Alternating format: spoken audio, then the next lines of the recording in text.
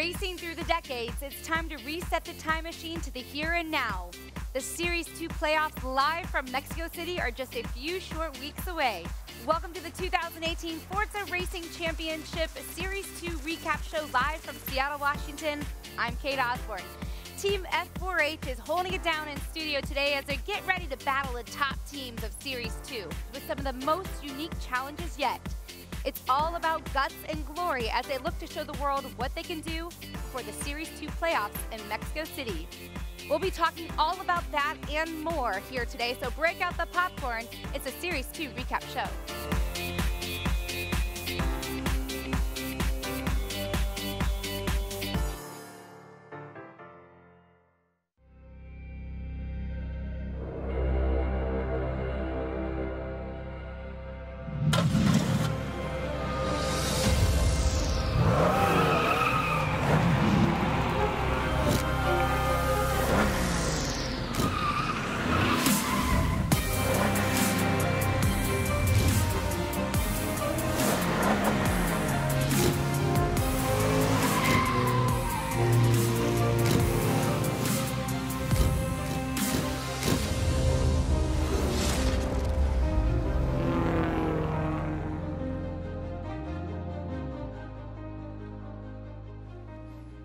It is good to be back with you on another Wednesday, doing things a little bit differently here today with the Series 2 recap show. Of course, Ali Tack, Scott Cole, right beside me as well. My goodness, it's nice to see your friendly faces on a Wednesday. Yeah, it, it feels like we've just been out here, but now we're, we're coming back and get to enjoy a little team racing today. Yeah, what a fun event we've got coming up. I, I can't wait to see all the drivers out on track. We've been talking about exhibition style, and this is really important to note that we mean business as it relates to exhibition style, right, guys?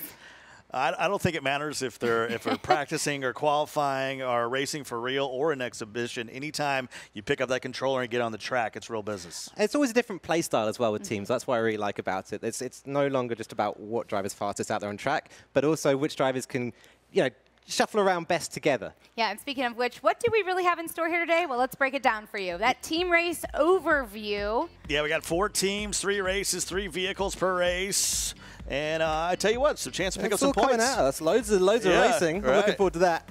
Oh, and of course, then we do the picks and bans. And this is really interesting because it shows the strengths and weaknesses of these teams, and yet at the same time can really make a big difference for those other guys. Yeah, this hits the esports nerd in me. You know, my, my, my Dota days, my League of Legends days, have the opportunity to pick some cards, but also ban some cards and, and maybe make it tough on some of the teams. Yeah, and we're throwing six cars at these guys, and they get to choose which ones they want to keep in the racing, but also which ones they want to forsake, throw away, and not drive, not get anywhere near. Talk about some strategy and some some quick strategy with that. And of course, we have those oddball vehicles next. There's a brat in there. There's a trophy truck. I want to see these guys race a brat. That was probably the most interesting race we had in Series 1 recap show that we did when we had the teams out here was you have big old trucks, you got fast cars. It's going to be interesting to see how the teams use the strengths and weaknesses there in the oddball race. I, I always love seeing trucks racing. There's no there's no actual there's not the Mercedes tank pool this time. We had that last time out in the team recap. This time around we've got some big cars, some little cars, and a good var- good variety for the oddball race. And then, of course, race number three, we have the Sport GT icons, which really makes it interesting around here. Yeah, for the first time, we're actually going to see a little bit of tuning out there. And isn't that great? I mean, it's, it's a real skill in Forza Motorsport, uh, tuning the cars, you know, setting up the springs and the dampers, all that stuff to make them faster around the track, make the drivers feel better while they're driving them. It's great to see him managing to use that here in the Forza Racing Championship. Well, and of course, we want you to get involved in the show here today, as always. So just join us at watch.forzarc.com to, oh, to, I guess, share your opinion of what these guys should be racing in the oddball race, race number two. I tell you what, McLaren would never make an SUV, all right? But Maserati, they're okay. They'll throw it out there. Yeah, they'll sell out. but hey, there's. I mean, I know that's not the Evo that you love, but at least we're at least we got an Evo. Yeah, out I mean, there. there's, there's a right answer for me in this poll, and it is the Evo 9. Um, that Maserati, for me, is not is not a racing car. And of course, if you're watching at watch.forzarc.com, you can complete those quests and win some prizes, which I know all of us look forward to seeing what those rewards are each and I every want all the awards. Give All give the me things. all the Scott Cole wants rewards. everything. I, I need all of them now. Of course, the liveries there. Look at those bad boys. I love that Ford. I love the liveries Focus all, looks great. This whole series number two, the liveries have been such a Is showing. that a My Little Pony on the side of that truck? I hope it is. I hope it is. of course, you got to look good to race good. Hey, I'm a, I'm a World War II guy, so any sort of paratrooper kind of thing, I'm down with. Yeah, jetting in from 50,000 feet sure. and just landing in your Zonda. Sure. Let's do it. I'm, I'm, okay with that. I think you would look pretty good in that thing, Scott, just if I had to uh, take a guess. All right, of course, as we've been talking about, it's team racing, it's exhibition style. So let's go ahead and break down the teams that we're going to see here today.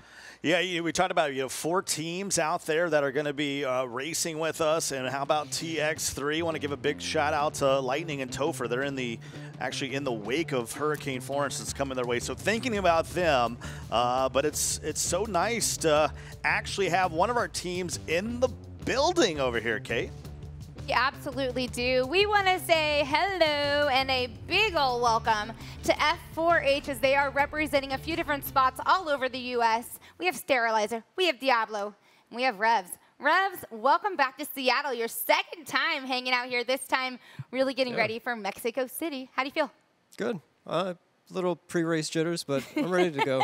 you feel the team's confident with what's going on here today? Definitely. All right, moving on over to Diablo. As you know, Revs is uh, right now seated 25th in the global leaderboards as he's heading to Mexico City in just a few weeks. Diablo here, glad to have you because I think there was one point in time you did not know that you would be going to Mexico City. Uh, absolutely not. I started after week one. I was ranked 51st overall. Um, I had to gain 15 spots in three weeks. The field um, is extremely difficult to you know make any ground in. Um, so I'm, I'm really happy to be here, and I'm really happy to be going to Mexico City. We're super stoked to have you. Hey, by the way, he's also the president of F4H. We were talking about this earlier today, and I gotta say that seems like a big undertaking. We'll get to that later.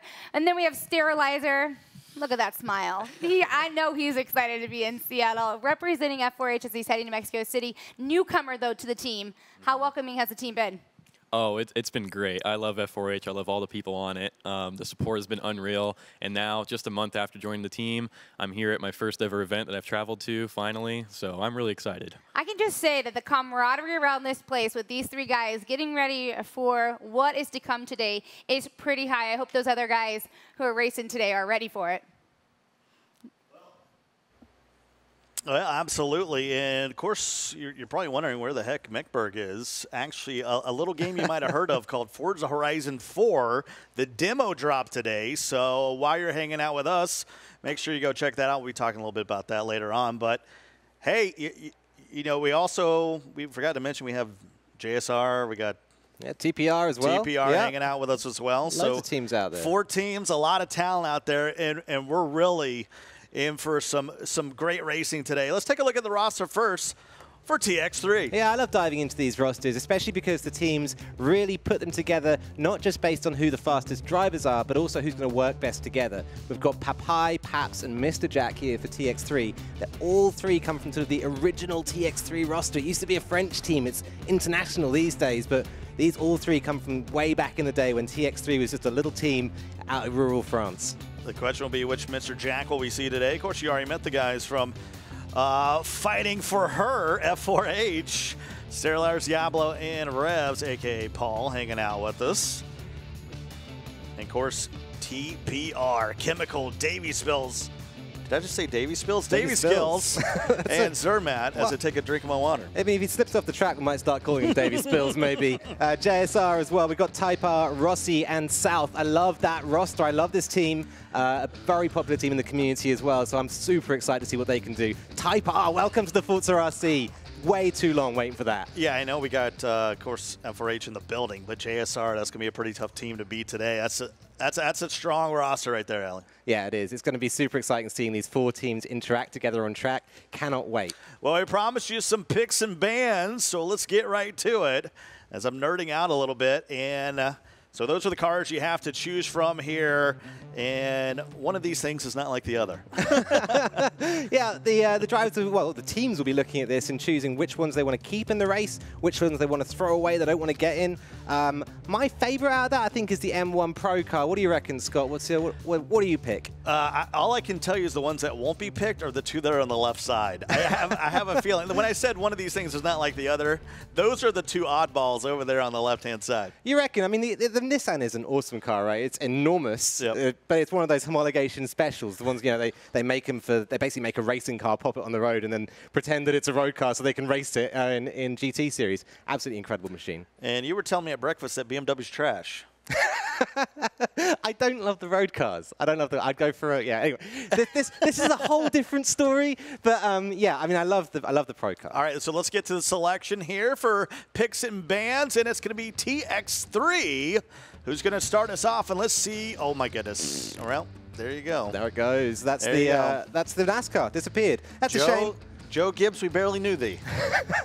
yeah, love him and leave him. That's a shame. Uh, I, I enjoy seeing a NASCAR going around the track. Same time, how would that sort of compete against the other cars? Maybe it's a bit of an oddball in that mix. I, I, I think it was. I think it's out of place to say the least. The cool thing is we have F4H actually in the building, so we're able to get their pick live. Let's go over to Kate. Oh, Diablo's reaction when he found out that that was banned right then and there. Not not cool with you, huh? Uh, not so much not cool with me, but not cool with Revs. We were planning on throwing a little bit of strategy into this race, and Revs was going to drive the Toyota uh, NASCAR. So now we've kind of had to readjust, and uh, for that reason, we're going to ban the Nissan R390. Oh, So a little bit what Ali and Scott talked about. It's kind of an oddball car, homologation special. Um, it doesn't drive like the rest, so we're just gonna have to see. Now that we're not driving the NASCAR, we're just gonna have to improvise from here on out. you feel like this the cars that are left, so your team can really pull through. It feels like each of them have the strength to you in some way, shape, or form. I, I think so. I think that. Come on, confidence with that. I, d- I don't, I don't really think it matters which car we're going to drive. I think we're all fairly confident in all of them. You know, we're practiced and ready to go. Um, I just, I think the NASCAR was going to suit us a little more. We're all Americans, so Yes. we, we like that horsepower, rear-wheel drive, driving on an oddball kind of track um, with that car combination. So it took uh, one of her feathers out of her cap. That's all. That's what this is all about, right? This is the challenges that we're presenting these teams here today makes it fun, right, Jens? Yeah, USA, USA, USA band. yeah, they're going to have to find a replacement for displacement. That's right. I like it. No, thank you. Let's see what uh, TPR, their selection for left. Oh, There. Speed Racing uh, is out. Yeah, So the Capri Turbo, um, another car that maybe, I mean, it's, it's an incredible launch, basically, that car. It has a huge amount of acceleration, which makes it a little bit less of a sort of standard car. The three cars left are a little bit more sort of um, strong all over, maybe. And Uh, so crazy yeah. thing is, no picks, all bands. True. All Yeah. bands, all bands. A very, very negative-looking team here. It's it's more about what you don't want to drive compared to what you want to drive. So there we go. Race number one. Got the Mercedes, the BMW, and the Ford Focus RSRX. And I think you're right. This is going to be uh, lead to some interesting racing, uh, just based on the characteristics of these race cars. Yeah, the Mercedes is definitely going to be the grip car here. I think that the uh, Ford will offer a lot of acceleration, and maybe the M6 or the M1, excuse me, with a bit more top speed than those the other three. So three different characters of car uh, for each of the drivers out there in each of the teams. Well, you know the car. Let's talk about the track. The uh, test we're going to put them through Nürburgring. All nope, no, it's not the Nordschleife. Sorry, it's just the, shorter GP one. circuit. it's the wee one. Uh, just the uh, small GP track that sticks off the bottom of uh, the Nordschleife, that very intimidating course that goes through the uh, forests of Nürburg. Um, and yeah, getting underway. Here we go. We are all out on Nürburgring. And we are going, going, going. Sterilizer out in front here on the start. As you see the Ford Focuses start to get fo- focuses, focus eye. They're fo- focusing. They're focusing. um, all three of the focuses getting away at the start there, and that's very, very impressive. Not least, I mean, they're all the four-wheel drive cars. They have amazing launch off the line. Uh, one focus, though, there's four teams out there, of course. So Right. three focuses in the lead. So there's one focus that didn't make it through the pack at the start of this race. All right, lap one of seven. Scott Cole, Ali Tack with you. Of course, we got F4H in the building. As Kate Irons and Warren be hanging out with them throughout the match. We go wide already early, trying to get back into the traffic, so that'll fall all the way back to eighth position. And there is TX3. Right up there at the front running. Second place right now, the TX3 Focus, and that's a bump from the TPR Focus just behind, I think. That was Zermatt just losing it slightly, and now he's going to have Chemical, no! Anyone but Chemical. Sweet Chemical, your favorite, your favorite TPR member, losing it there at Dunlop, and the run up to Schumacher now, and uh, the drivers filtering back into line. All right, still lap one of seven. We've already seen a bit of chaos as they make their way over to turn 11. A little right, excuse me, yeah, a little right-hander. And you can see there is TX3 Mr. Jack Zermatt. It's going to slide in front. So you can see the characteristics of the car. I love different cars on the track. Uh, it's it's almost addicting to watch. It is, and when you have different cars like this, one is naturally going to be stronger at some parts of the track than another car. So you see a lot more overtaking, a lot more interaction between the cars. We saw Zermatt just pulling away there on the straight, but suffering in the corners in That's that right. Ford relative to the BMW. Great point. Lap one of seven. Still coming back to the start finish line. We got to do that six more times, and I, I'm okay with that. As we move on to lap number two. JSR Type R currently running in third, and we're on board with him in that awesome M1 Pro car. This car, he'll be running it stock, no tunes allowed in this first race, so we'll get to tuning later on in the competition. But this car stock, if you guys haven't driven it on Forza Motorsport 7, get right on there and give it a go. It's got this amazing sort of vintage differential on the rear, and it really gives you a, a sharp nose as you come in and out of corners. Really fun to drive. Coach, we're doing some team racing here today, just 17 days away from Series 2 playoffs down in Mexico City. You're going to see a few of those drivers here today competing down there at the end of the playoff run. And then, of course, for the championships, one month later, we'll be in London, rocking and rolling to see who's going to be the 2018 champ. Leading the race, lap two, is F4H Sterilizer, the guy in the studio with us right now. Uh, this is his first event. He's not taking part in from his home, but he's out at a uh, at a studio. So what a great what a great start for Sterilizer uh, in a live event. He was coming in from Dallas, Texas. What was he telling us? What was it, what was his name last year? Monaro, he was Monaro. Yeah. Monaro, I was calling Marinara. I, I, I was all over the place with that name when we were hanging out in London doing a few of those shows uh, during the weekly races. And you see, still on board with JSR Type R, trying to chase down that number two spot. It just you, you talked about the differences in the cars of when you get into the corners, that's his opportunity to overtake, and then just flying out is that Ford Focus when he gets a chance to stretch his legs. And you can really see it, can't you? On this on this back straight at the Nürburgring, that Ford powering down and just plowing away from the BMW. The BMW is it's a waiting game. You have to just wait for the corners, move through them, and you can see Zermatt there making the mistake on the chicane, easy to do in the Ford, and Mr. Jack punishing him for seventh. Well, we talked about Chemical currently running in 11th place, and that's because he got caught up in that first lap trying to keep himself on the track as we have an opportunity to, to take a look again at that lap number one for Chemical that put him all the way back in that 11th spot. As you can see him coming through right here, Alec. Yeah, a little bit of a grind there with Davy Skills, his teammate at Dunlop hairpin. It wasn't, excuse me, that was Mr. Jack then in the other M1 Pro car. So Chemical and Mr. Jack coming together at Dunlop and Chemical losing it on the inside. So he's got some making up to do here. Team racing, four teams. Three different cars on the track here in lap three of seven. This is just race number one of the day.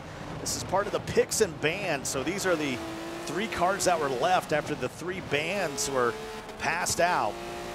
And you can see Type R for JSR has fallen back a spot as his teammate JSR Rossi and you just knew eventually the Ford Focus was going to come through, and that's that's the cream that's rising to the top here on Nürburgring.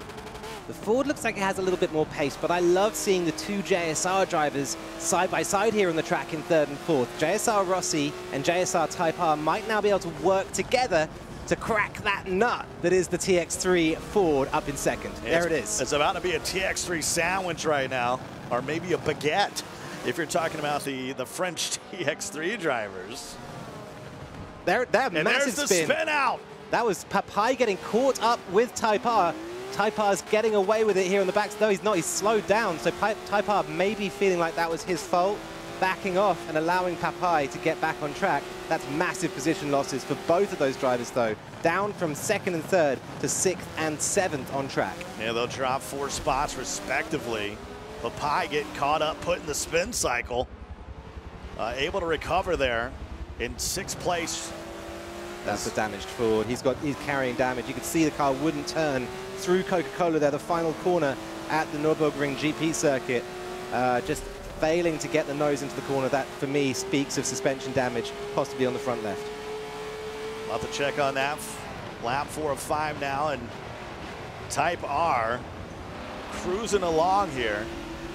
First turn, you see Chemical right behind him, who's now riding along in 10th at third.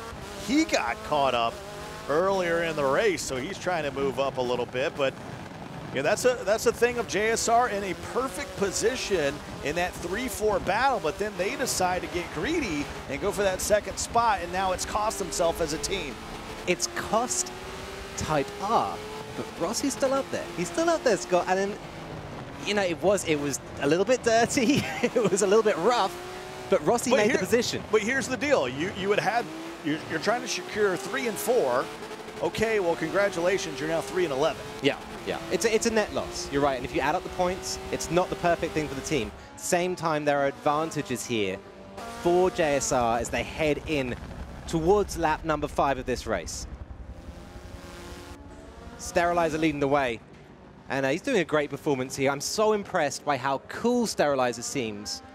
Under what must be a lot of pressure for the guy. This is his first, Well, his first studio event. It, it makes it easy when you're out there basically in hot lap mode right now because you, you have so much distance between the number two after all that as he heads into uh, the chicane here in, in lap four. But you got so much room between the guy behind you and JSR Rossi. Diablo running around in third.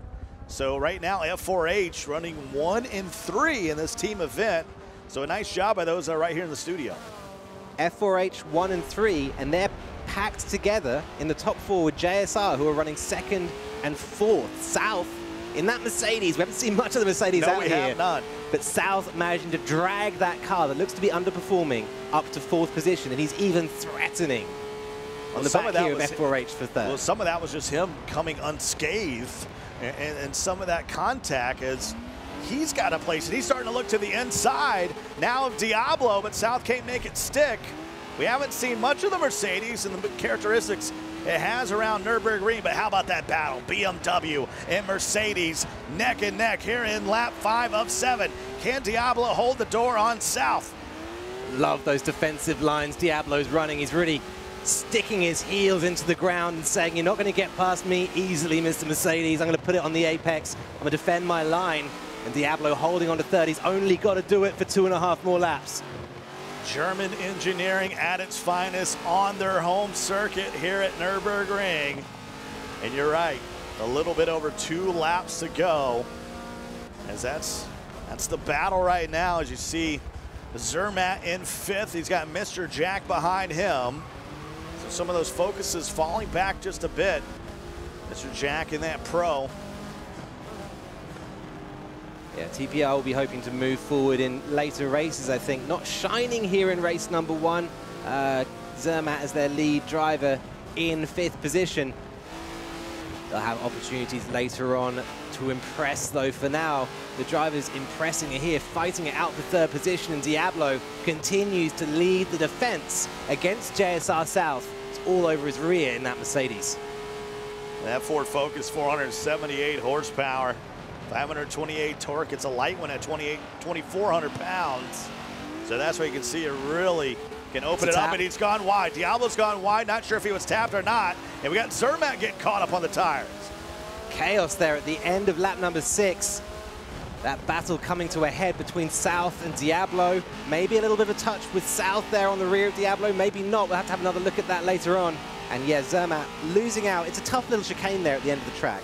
Uh, a little left to right, you can bump over the curbs and you can really get unsteady, lose rotation and find yourself in those tires very, very easily indeed. Yeah, turn 13 and 14, and we got a little bit of lock up here. Almost drifting his way through. Zermatt. And it allows Chemical to move up. So does JSR Type R.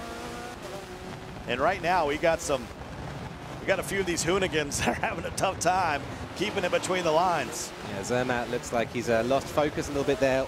That or he's carrying damage. A lot of handbrake being used to Right. rotate that car. And it doesn't look very happy at all. All four Spark tires blasting smoke. And you've seen a lot of cosmetic damage that is leading to actually mechanical damage. But that's what you get when you get three different cars, three type of characteristics. That's where you get this. For us sitting at home and watching this, you get a little bit of entertainment here in lap six of seven. JSR South eventually overcoming Diablo going wide. Not sure if it was a tap or not. That's not our job. We'll leave it up to those that are on a higher power.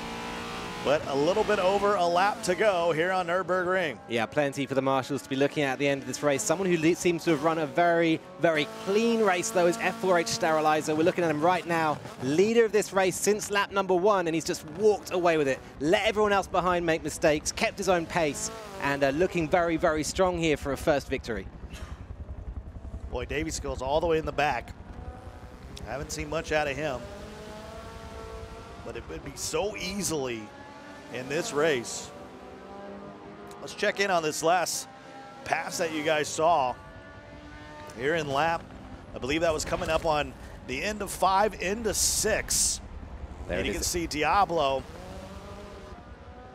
really look like. Let's take a look at this again. Oh, I don't it's know. so hard to tell. It's I- so hard. I mean, you got to keep in mind that Mercedes has a bonnet that just goes on forever. It's a it's a very lengthy car. I'll, I'll be honest. We just took three looks at that, and I saw nothing. All right. No tap at all. But that's just me. Uh, and I admit, we, we you know we were talking about that Mercedes, the front engine. You know, huge. We call it a hood over here. You know, hang out the hood. bonnet. But, but I, you know, I saw nothing. I mean, it's good that we've got Diablo in the in the studio with us. Maybe we can get some reaction from him Sure. after the race, get a little bit of a breakdown of that. For me, there may have been some contact, may have not. It looked like Diablo had already carried a little bit too much speed out of the chicane. Uh, yeah, maybe overcooked just a bit. Yeah, yeah. Just maybe a little bit of a helping hand from South, but South sitting in third at the end of the race, and it's going to be down to a marshal's decision for him. JSR looking strong here at the start, though, with second and third, whereas F4H have first and fourth. Well, remind folks, let's go back a few months ago. JSR looked awfully strong as a team. We've had these team races before, especially Rossi, who was, was unstoppable at some point. But Sterilizer has really just kind of run away. Uh, while all this was happening behind him, he's been able to to keep focused. There's a reason the windshield is bigger than the rear view, right? That's that's just focus. He's kept it down. He's got three more turns. He's got to negotiate the chicane. I can't sing his praises enough. I really can't. Just Right. watching him through this last couple of bends, uh, Sterilizer managing to just control his own emotions, control his own uh, sense of calm, and keep that car in a really beautiful line throughout this track. and he is going to provisionally take this one on Nürburgring. So Sterilizer dominating really from the get-go. We saw those focuses at the beginning, at least three, uh, you know, of the four teams that sort of rise to the top. Uh, as we moved along, we saw the Mercedes start to gain ground. We saw the BMW start to lose ground. And it's going to be interesting. Uh, we kind of know where we're at provisionally, but after the stewards and marshal have an opportunity to look at it, it's going to be there's going to be some decisions. I know we're we're sort of in exhibition mode. We're getting ready for the playoffs. We're celebrating what happened, but uh, it doesn't matter. Uh, uh, if folks are going to Yeah. folks are going to complain the same. Let me be They- honest they with you. still yeah. want they still want to prove themselves out there on track, and every single opportunity uh, to race is another chance to impress your competitors, to impress your teammates, and maybe work on your own reputation a little bit. People who've done a great job there are the F4H team, notably Sterilizer, who won that race, and also JSR. It seemed like either damage, grip, or both was an issue. So you can thank the community for not making it wet at Nürburgring. so they actually voted for dry there. Can't imagine what would ensue on a wet track. Yeah, enough chaos there with a with a dry track, a few puddles in there as well. It might have been cars flying off the track surface uh, all the time. I mean, I'm I'm interested to see what TPR and uh, TX3 can do. I mean, you were talking about this time last year during the during the race, and what a change from this time last year with TX3, who looked like the dominant team in the Forza Racing Championship. Now struggling to get out there to third and fourth. And you know, it's just something about when you have the different vehicles on the track, the different characteristics, and of course, a, a, nice job by Race Boy and his team picking out uh, the cars that they eventually went with. But um, there's just something about that. I mean, you, you come back to the sort of real life GT or GTLM where every car, like the Corvette's got a different characteristic Sure. than maybe the Audi R8, right? And, Yeah. and that sort of comes alive track per track, and it just makes it a lot more interesting, especially aesthetically to look at.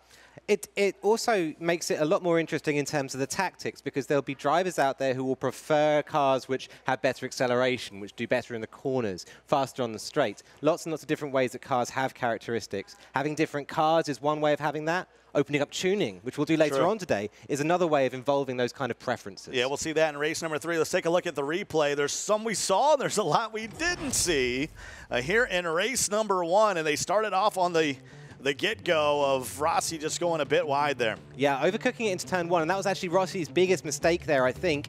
Uh, really, all the Fords getting away at the start of the race really nicely, and Rossi falling back in lap one. Well, when your car is not aluminum and it's wood, anything, any, anything can happen there. That's right, cherry blossom uh, Ford focus there. There you saw Chemical get out of sorts there. Papai was actually looking pretty good through half of this race, and then Type R. Rossi didn't know his teammate was in there. He moved, tried to move across on Papai, and the two of them squeezed each other. So Rossi not leaving enough racing room for the other two, but maybe a little bit of an optimistic move from G from uh, uh, JSR South. And this is the one we really took a couple looks at, and I still don't see anything there as Diablo. Uh, the good news is, is he's in the studio. yeah, right. so, so hopefully we'll have, get an idea of what actually happened uh, between JSR South and F4H uh, Diablo. I mean, I'm super curious to hear to hear Diablo's side of this. Remember, there's always two drivers involved in every incident. Takes two to tango, doesn't it? So we don't get to hear South today. Uh, we all know South to be a very clean driver uh, out there. He wouldn't do anything purposefully, and it looked like the shadow of a nudge, if there was a nudge at all. Well, I understand we have the provisional results we can take a look at here through race number one. Sterilizer out in front, really a, a tremendous race out of him. Rossi, South, Diablo, but something tells me these provisional results aren't going to stick. Who knows? Who knows? You know, the, the marshals have a lot more views than we do. They have a huge amount of data, which they take in. They do a great job moving through it very quickly and processing the results and officiating them. So, yeah, who knows how this will work out. For my money, though, yeah, I mean, my focus is on Rossi and South in second and third. Well, Kate's usually tuning in to social media and Twitch chat and all that, but now she's able to get it right from the horse's mouth. Let's go over to her, standing by with F4H. I am so excited to be able to do that. I just want to ask Sterilizer, are you going to come and race with us every Wednesday in, in Seattle? This place, this was great for you. What was uh, what was it about that car track combo that worked? Um, I'm not really sure if it was the car track combo or just the fact that I got past first place in the first corner. I was able to pull away. I was really fortunate that the pack was fighting with each other, and I was able to build a really good lead. And you know, once Rossi was behind me, I saw he was catching me, but he was too far behind. So I ended up sticking it to the end, and I'm really happy that I maintained my composure and finished it up. For cool, calm, and collected for sure. Diablo, what's your takeaway from uh, the little incident? There's two sides to every story, my friend. Um, well, I mean, I I'm gonna say that I got lucky in that race, um, strictly because I the BMW I was struggling a little bit for pace, and I had JSR South right behind me the whole time in the SLS, which was much better in the brakes, much better in the turns, but the BMW is quicker in the straights. So he'd catch up to me in the corners, and I pull away in the straights. I kept going back and forth. One mistake, he got around me, um, and after that, it was just trying to hold on to the very end. I um, I feel like I had engine damage at the end of the race, and I was losing ground quickly, but. Um, to hold on to fourth uh, against a pack like this, I'm happy about it. I can't complain. All right, can't complain now. Uh, Revs, can you complain? Is there anything you want to say Oh, about that man. race? the start of the race didn't go well. The whole entire race didn't go well at all. Uh, we're just beating and banging into each other the entire time. Uh, yeah, the braking points are so different for each car. So I would get on my brakes, and then a BMW would get on its brakes, and I would slam into them. Ugh, But uh, sorry, Chemical.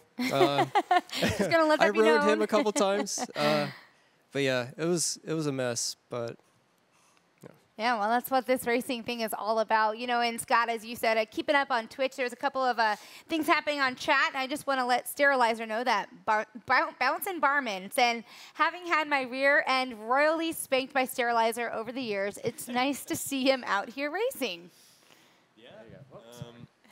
Yeah, bouncing barman. It's it's yeah, it's been a trip. I remember meeting you in the Twitch stream and you know giving tips, and I've come a long way since then. So it's really nice to be up here, and I'm glad you're out there supporting me, man. Yeah, that's what this is all about, really. Diablo, for you, I think kind of overseeing this team and seeing the growth of this team, you and I were talking early on, and the transition just in the two years that you've been a part of it, it's really, truly incredible. Yeah, um, after I took over, it's funny now that the roster that I started with as team president and Forza team lead is completely different, except for me. None of these guys were here when I started. uh, we've recruited people, and some people have come and gone since. Um, I had a great battle with JSR South. He was on FRHs over the wintertime, um, chose to go to JSR. Great person. Um, but yeah, leading this team and to be here now is I I didn't think I'd get this opportunity um, to be here in Seattle you know, to meet uh, Turn 10 crew. So to be here, uh, considering a few years ago Forza really didn't have any of this, the studio Right, setup it's and anything. insane, it's right? it's it's beyond what I could have imagined. You know, going to Le Mans last year. Um, that that's a pilgrimage for any race Mm-hmm. fan. So to have that opportunity, you know, can't be thankful enough. How have you seen the team progress? I mean, you're saying these guys weren't even here, right? Of course not. But right. the, the growth of the team, the growth of these drivers, the, the growth together that, I mean, here yeah. you are. Oh, oh, it- it's been it's been absolutely incredibly. No, there's people here. Um, like our, we have Venom, who's Mm-hmm. top five. He was top five last year. Wasn't able to go to Le Mans. He actually had a concurrent trip to. He had a full paid trip to go to Le Mans to watch as a spectator with Michelin. Um, he was top five, and this year he's I think he was ranked fourth going into Mexico at this time. He's an incredible driver. Dino, um, or one of our English drivers. He's he came back from a long hiatus Right. off well back Forza two and three. His pace is still there. You know, these guys are here. Griffin's been here a month and look at him winning races. You know, Paul. You know, Paul and I met um, at a LAN event in San Francisco two years ago. We were just kind of joked about that back and forth. of how you know he has improved in pace over just a short amount of time. You only joined the team over the winter times, I believe, in February, and now you know you're banging on the door for possibly going to London top 24. I, I couldn't be more proud of the guys that are on the race team. And it, and you know if I get to enjoy a little success too.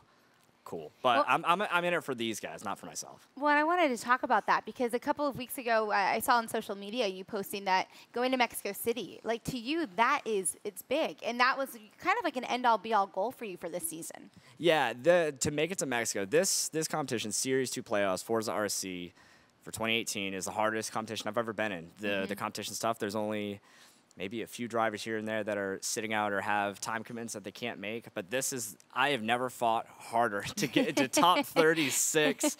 Um, so and the tweet that I made, I said I'm not going to London. Um, based off because I wouldn't have made it there on time. I just I just don't have quite the pace to be top 24. Um, and I, I would have liked to have gone to as, as a spectator, but uh, plans change, work changes. You know, I work a full time job, so I'm not able to go. Um, but I'll be cheering these guys on on Twitch, and you know I'll be like Barnes about me. I'll sit in the chat like, "Come on, let's go, guys!" You know. Um, but yeah, it's it's been it's been great to see the progression that we've made, um, even since the wintertime. You know, it's it's there's been a lot of change, but we've we've stood strong. Yeah, well, more with F4H coming up here. But, gentlemen, over at the desk, I mean, the global leaderboard, the intensity that these guys are really feeling, it's, it's truly, it, it can't be put to shame by any means. Yeah, you're so right, Kate. And it's all about that 36, uh, you know, that Diablo was talking about. Uh, You're just, you're- you're trying to get there, right? You're just, um, that's the struggle. That's why you come out and race week after week uh, to, to try to put yourself in a position to be in one of those uh, series playoffs with, with the thoughts of, of London down, uh, down the road, knowing you got to score some points. It's great hearing Diablo talk about it, isn't it? Because there's so many unquantifiable things that go into it. You know, the emotional investment of the team captains, of the drivers, all the people working really hard. And you can't put a number on that. But at the end of the day, you have to be inside of that, that 36 to make it into the competition. And sometimes it seems so arbitrary. But yeah, eh, what a great effort from all the teams who've come out this year. And it just shines a light on that. It's great having these guys in the studio. Well, we got some real consistent drivers. You take a look at the top 12 here at the Series 2 leaderboard. Of course, that's my man Hard BR. Now Zoom still at the top. Lightning over there in North Carolina. They're in number two. Box, your Series 1 champion. Still racing consistently, maybe not at a, at a pace he wants to be at, but he's still in the top three. I love how the top three of this competition are all from different regions. We've got the, the leader from LATAM, the leader from North America, and the leader from EMEA, all tucked in there on the top of this table, Zoom, Lightning, and Box. And we know it's going to be an amazing race between them at Mexico. Well, there's a member of F4H right there. Venom sitting there in fourth. He's maybe been the most consistent racer uh, that we've had over Series 1 and 2. He's just been rocking along in that top five. Venom is just so, so quick and clever, and he's just a great driver. Um, he's, he's, very, he's very rounded as a driver as well. He's someone who I really think deserves a Forza Racing Championship, someone who could do really well at Mexico and possibly even take the win. Just hasn't had that luck yet. Well, it's all about not only 12, it's 36, right? You got three groups of 12 that'll be going down to Mexico City. See that group one. Who jumps out to you in, in group one? You know you got your favorites, but is there. Uh, oh, there's a. I, I, where was I going? Number nine Looks down like the there. Spiders caught himself a couple of flies. this is my first time seeing the groups, actually. This is my first time seeing this, so it's fascinating to see which drivers are going to be coming up against each other in the first round of the Mexico playoffs. Of course, I'm. I said this uh, on a stream on Monday as well. I'm very curious to see Billy Sue race in the championship um, in, in Mexico because he's a little bit out of position. He missed out on weeks three and four of the of the weekly races, lost a lot of points there, so he's maybe further down the grid than he deserves to be. Might be a mover at the championship finals. Well, uh, Group One might be the strongest group. I know, and that, and that's crazy because you got Zoom Force One and Roadrunner there. Billy Sue, some dark horses there. Moving around to Group Two, Lightning and Mitch and Wesley and Rossi. Those are three fast guys, but you have Diablo and Studio here. Uh, but you got some veterans in Davy Skills and Harmonic that really perform well in a LAN environment. Yeah, aren't, aren't Mitch and Rossi in one group together? Isn't that just fireworks waiting to happen? Those two used to be teammates. That's they used right. to be, you know, That's good right. buddies. Now Mitch off at Williams, Rossi lead driver again at JSR. I want to see Mitch and Lightning as well on track together. How rarely do we see that? And then in Group Three, you got my good friend Craviator down there. I don't want to forget about him, but you got Box. Uh, the German trying to repeat as uh, a Series 2 champ there, but Venom, Lage, Seven. Uh, that's an interesting group as well. And then right there at the very bottom, there's a guy named Sterilizer who's hanging out with us today who's going to have an opportunity to make some moves. Very, very bueno. I mean, if Sterilizer takes his momentum from today and Yeah. brings it to Mexico, he can be up that pack in no time at all. Box, as you say, the champion from the Seattle playoffs, we're going to be painting a big target on his back because everyone is going to want to overtake him. Right as rain. So there's the 36 that'll be join us down in Mexico City for the Series 2 playoffs. And you're right. F4H getting a little taste of a LAN environment today. Not, not of course, the the pressure isn't as much Kate, as we'll be facing down in Mexico City, but any taste is a good taste. Absolutely. I think we're going to have a lot, of, by the way, side note, I think we're going to have a lot of good tastes in Mexico City if we're going to talk food. Uh-uh. That's what, yeah, important to me. I'm I could sorry, talk a little food, sure. no, I think it's really, it's going to be a lot of fun. And as these guys are kind of checking out that driver roster, really for the first time, seeing where they stand, how it's going to shake out. They were all kind of just shaking their head. There, not not a lot of words to, to say to what's going to happen in Mexico City. I can say though, I think a lot of people are looking forward to the shakedown. Well, you got Lage and Box in the same group, right? Those are guys that are cut from a championship cloth. You also have Roadrunner out there in Group One, so you you have your favorites that have been racing with a lot of pace mm. Through these, especially Series Two. But you know you got some favorites in there as well that are be putting a lot of pressure on them, especially in, in a face-and-face environment, which is a lot different than being online. That was what I was going to say, you know, Scott. I think that's what's so neat about getting these guys in the same environment is they're so used to racing by themselves, wherever that might be. And I, that's what I was asking them. I say, how different is this now? And it, it is. It's they're still talking in chats between the races. Of course, you guys all know this. But you know, to be able to race side by side, that brings a different heat. And I can think back to box in that Series One playoff and how intense from the mental, the physical side that this competition really brings out in these drivers, especially side by side. And Al, you need a little bit of luck. You do need a little bit of luck. Um, you know, Box maybe had a little bit of luck last time out. You know, some some drivers came together. Lightning and Leish, notably at Suzuka, got into one another, and that was a little bit of luck for Box maybe later on. I think what's really notable for me after the Series 2, all the Series 2 that we've seen, you know, the, the weekly races we've been coming to watch here, is how many drivers are fighting for their reputation. How many of them feel like they're underperforming and feel like they have something to prove Absolutely. in Mexico? What a lot of people there are with that kind of feeling. I, I think that's probably very fair to say, and how proving to yourself, but now proving to the community. As this community is growing and growing and growing, the, it's going to be it's going to come down to which guys stay with the grow, who are growing with the series too. Let's take a look at it just one more time because for a lot of folks out there, this was their first time seeing the, that 36. And Allie, I know that you get in the nerd cave a lot. who, out, who out there has to make moves to get to London? I mean, I, I don't want to overlook Mexico City, but once we get down there, Yeah. which one of these 36 or, or a few of them have to make uh, s- a real splash down there in Mexico to have a chance at London? Well, I can tell you there aren't a lot of drivers out there who are actually locked at this point Right. who actually already have it set up. I'm pretty sure that people like Revs, they really need to work hard at the playoffs and do well there. So that's someone who's in the studio with us right now to get to London. Uh, as well as that, Forza Europa, somebody who used to be in the Right. AMS team. Uh, he, if he does well at the Mexico playoffs, I think could earn himself a place in London as well. There are more than that. There are a few more, and we'll do that breakdown later on. But yeah, some really interesting stories Yeah, in some there. privateer action down there with Europa. For sure. I mean, you know, and what an interesting, what an interesting privateer he is as well, because he, he comes from kind of uh, the community and the, uh, a group of people who practice together. You know, maybe AMS kind of broke apart, but they still practice together. I think a lot Sure. of them. And so, yeah, privateer by name, maybe a little bit more of a team nature to how he plays the game.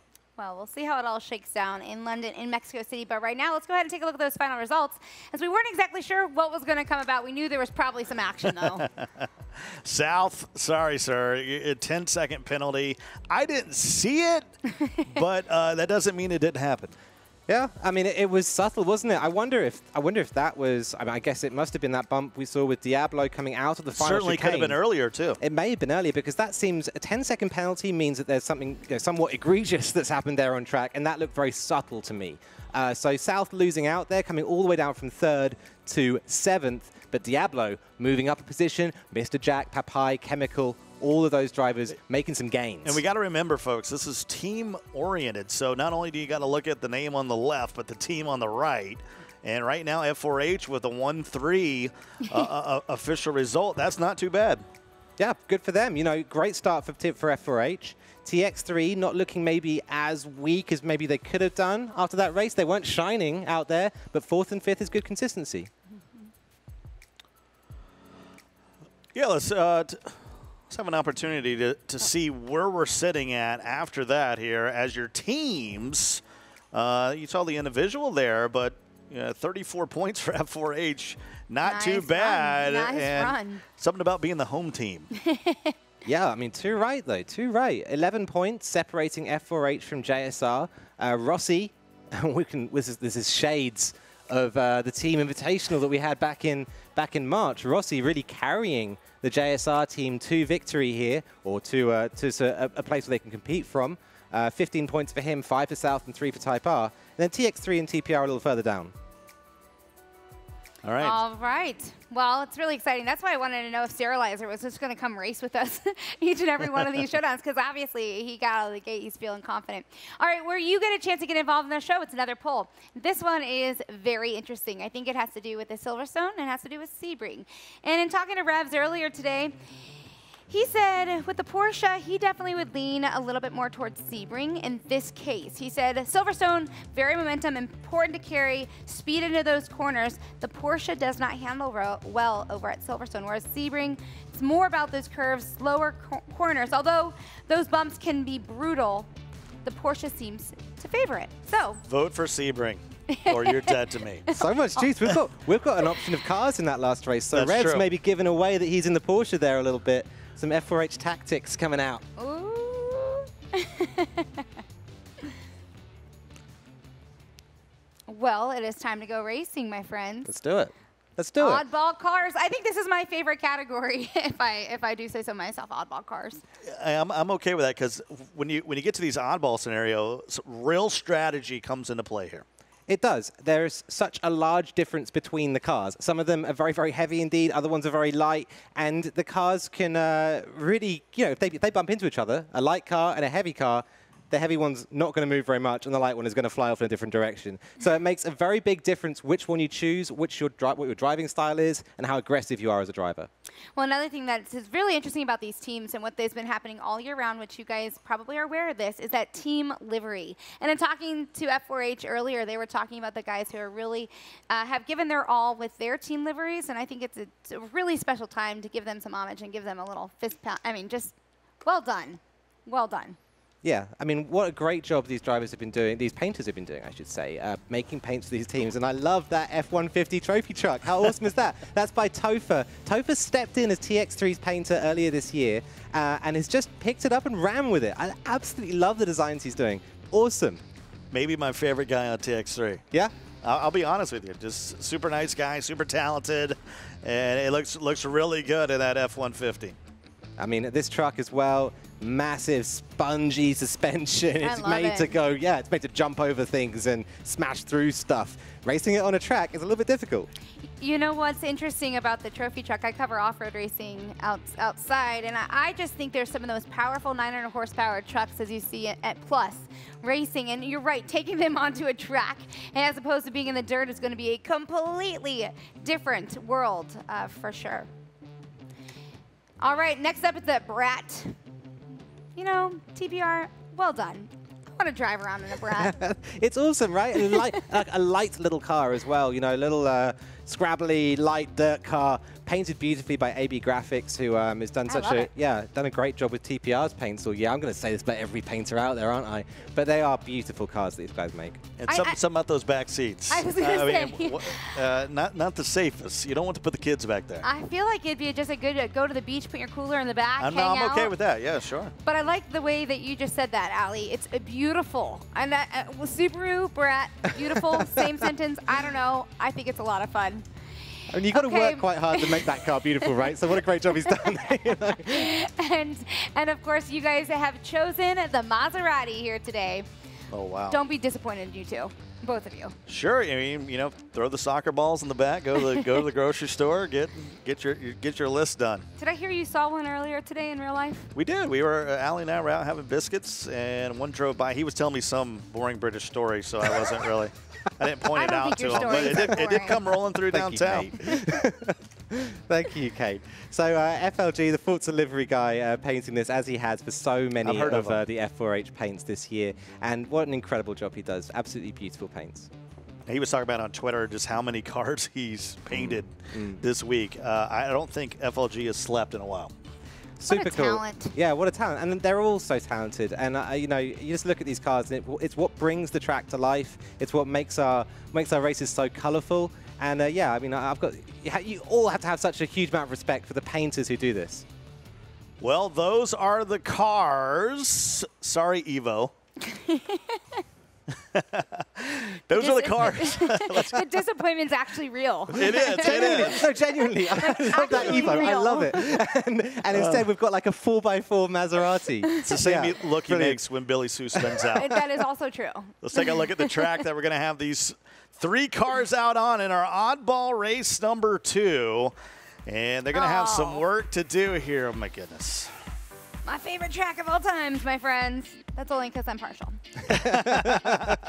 Off to. Indianapolis. Uh, it's the God Grand Prix circuit. So uh, a l- bit of a bit of a flat circuit. It's on the Yes. infield of an oval, and accuracy here. It's all about you know navigating those curves and really pinpoint accuracy as you go through the turns. I was there last weekend. It was not that dry. I can guarantee you. Here is the grid here for race number two. Sterilizer's going to be out in front. Rossi Diablo. There's one, two, three. And they got Mr. Jack Papai. Chemical. Hopefully he can keep it between the lines. Of course, he, he didn't have much choice. that wasn't from his own doing. Uh, but this is a big race for points here in race number two. Yep, TPR have something to prove, TX3 have something to prove, and all these cars piling down towards T1. This is the oddball race, so it's 4x4 everywhere. Uh, yeah, I don't think we can say cars. Uh, every, everyone's got an off-road capability as we go around Indy. And here we go, lap one of nine. And this is going to put them to the test. And at some point, yeah, I see, this is you got you're going to have a lot of physicality and weight, just overall mass of being a part of these nine laps. Wow, look at Diablo there, sluicing it through the inside of three drivers through the outer, outer sector one. Diablo looking a little bit bullied at the start of this race by the larger uh, F-150 trophy trucks, but managing to make that Subaru Brat go to town on a few people through sector one. Yeah, it looked like Papai there in the F-150, I believe, just couldn't make the turn. Started going sideways, couldn't hold the grip. And by the time he did, he was found himself all the way back in 10th. Sterilizer right here in the middle of the pack in the Maserati. And what a great job he did in race one, bringing that victory. Sterilize is going to have a harder job this time round, starting from the mid-pack. But he looks like he's doing well, moving up through this field. We're now on board with two Brats battling it out for fifth position. That's Diablo and South with Revs just up ahead. Diablo in sixth. Zermatt's right behind him. They're south of the inside. I, I think this Subaru Brat is going to be the one to watch. Everyone else just trying to find some spot here. Chemical. Eh, There is no line but a defensive line when you talk about this big F-150. And Maserati moving to the inside as they're coming back to the start-finish line. Here to start lap number two. Yeah, and the F-150 putting down all of that 450 horsepower as it heads down the start-finish line. 5,000 pounds is what that car weighs, so it's got a huge amount of momentum. You're going to see him jumping on the brakes very early indeed to rub that speed off. Every car we have out here on the track is all-wheel drive, but that Maserati heavy itself at 4,600 pounds, so it's it's a, little bit lighter than the trophy truck, but obviously does not have the horsepower and torque to be able to keep up with it on the straight line. Yeah, I mean Maserati, they didn't skimp too much on what's uh, you know what's inside of that bonnet under that hood, as you'd say. It's a twin Yeah. turbo V8, V6 under there, excuse me. Um, but yeah, not looking like it's going to be able to beat the uh, racing dedicated trophy trucks out there on the straight line bits at least. Yeah, you can see Revs flying by right there to your outside as now on board once again in this Maserati painted by FLG here in lap two of nine. And there is TX3 up there in third position. And that is Mr. Jack that's driving that Maserati. Just can't seem to catch up to Chemical. And some of the corners here at Indy, he does pick up a little bit of pace there and, gets closer. But actually, Chemical, Chemical's doing a fantastic job driving this F-150. Chemical's doing great, sitting there in second, just biding his time. He's also in the F-150 with Rossi up there leading the race in the trophy truck as well.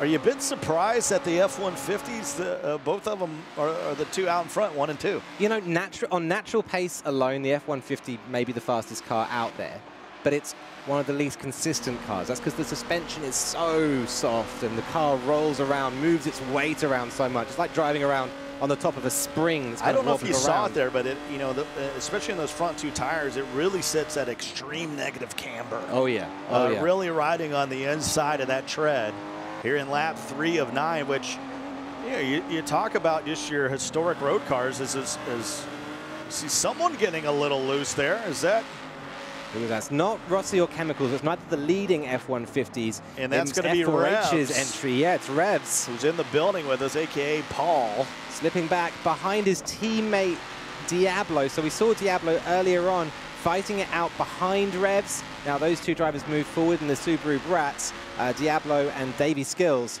Revs sticking behind them. Yeah, they're trying to try to have to work maybe a little shake and bake time in seventh and eighth there. But Rossi, how about it?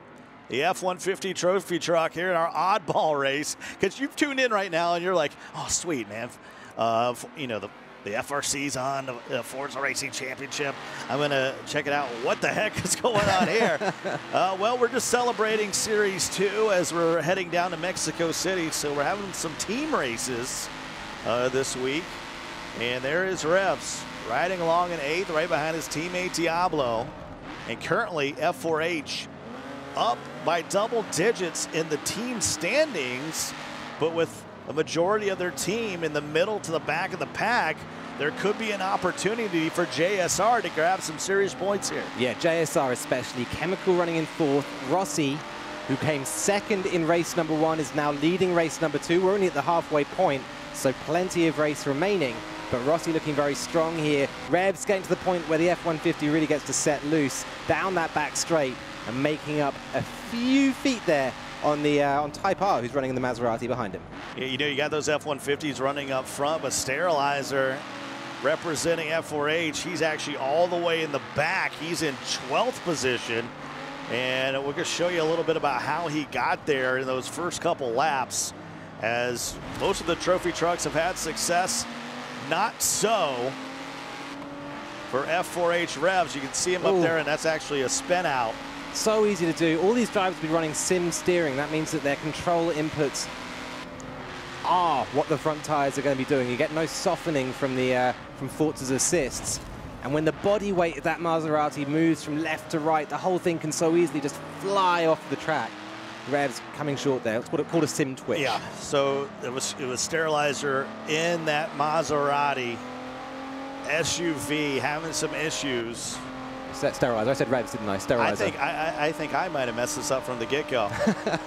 uh, but that's why he's running currently all the way in the back of the pack.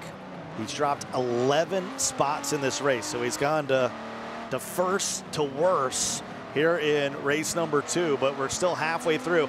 And you can take some solace in, all right, it's a team event, right? Like, okay, uh, I'm not having the luck I would like to have in this one. That's when the other rest of the team has to try to pick up the slack. There's always going to be cars that are faster and cars that are slower, you know, and there's kind of a bogey car that people can pick up. Maybe Sterilizer, you know, he got lucky, he got the fastest car for the first race, uh, but maybe got the short straw for the second race because of it.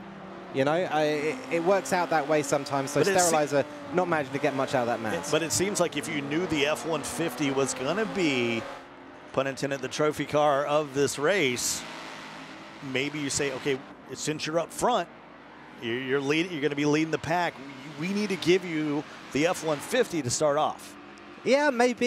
You know, uh, but maybe it he takes, had, he takes no hard leadership to do that. It takes, you know, Yeah. it's, it's a little bit Ferrari. You know, it's a little bit sort of do some team orders, get one Sure. driver, get some preference towards one driver.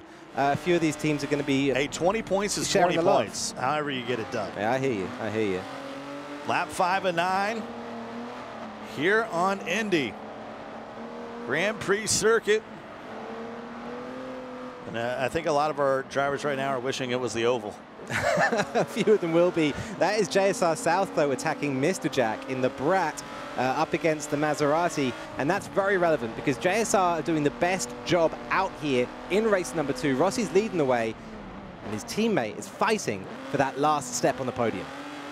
Well, Mr. Jack right there in third, right along with JSR South. And he, they're going to have some opportunities here. This is where you got to use that defensive line, use that width of the Maserati. And, and right now, you got to live up to the car's name. You literally need to be a brat here. I think I think the Brat struggles on the straights, and you can see it there. Mr. Yeah. Jack starting to pull away, and it closes up in the corners. That's difficult uh, for South, and that's because the end of this track, the last moment before the line, is a straight. So even if he's leading out of the last corner, there's potential there that Mr. Jack can just nip past him in a run to the line. So he's going to have to work hard here, South, to take that third place. Rossi out in front. That chemical. Couple car links back from him in lap six of nine. Rossi has looked really strong here in race two.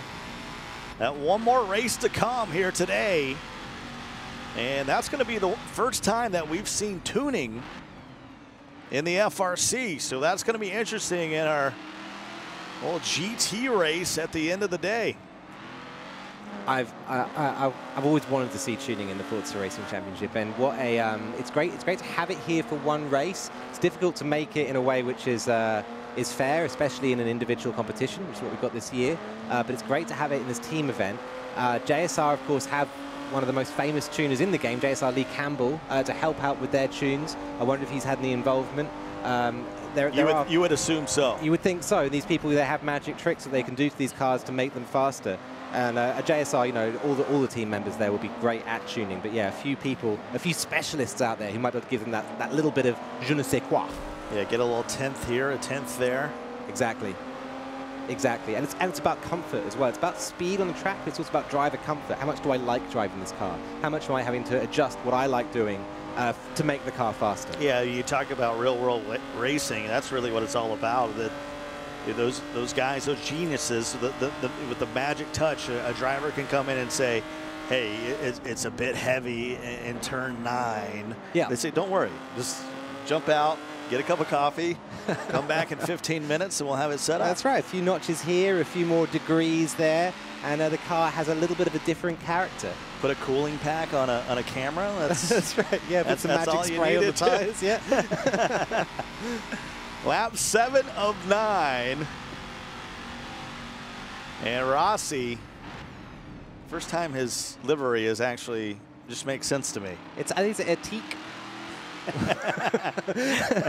or a pine.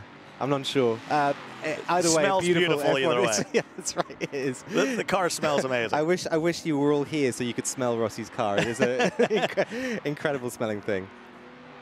Seven of nine. At, at some point, you know, these video games and consoles are going so far. You, you know, we got 3D. At some point, we'll hit 4D and 5D. We'll have, you'll have, Yeah. you'll have complete senses. We'll have like a scratch and sniff on the front of your, front of your phone. Um, Rossi, though, you know, in all seriousness, what a great job he's doing. He, he, the, he has there's something with team events in JSR Rossi. Uh, he's someone who will be mid pack. I don't want to call him mid pack. He's very very fast, but he doesn't tend to shine in individual competition. Change it around, put him in a team event, and suddenly he's taking wins. He's right at the very top of the competition. So Rossi, someone who I'm just super interested to watch uh, throughout this competition.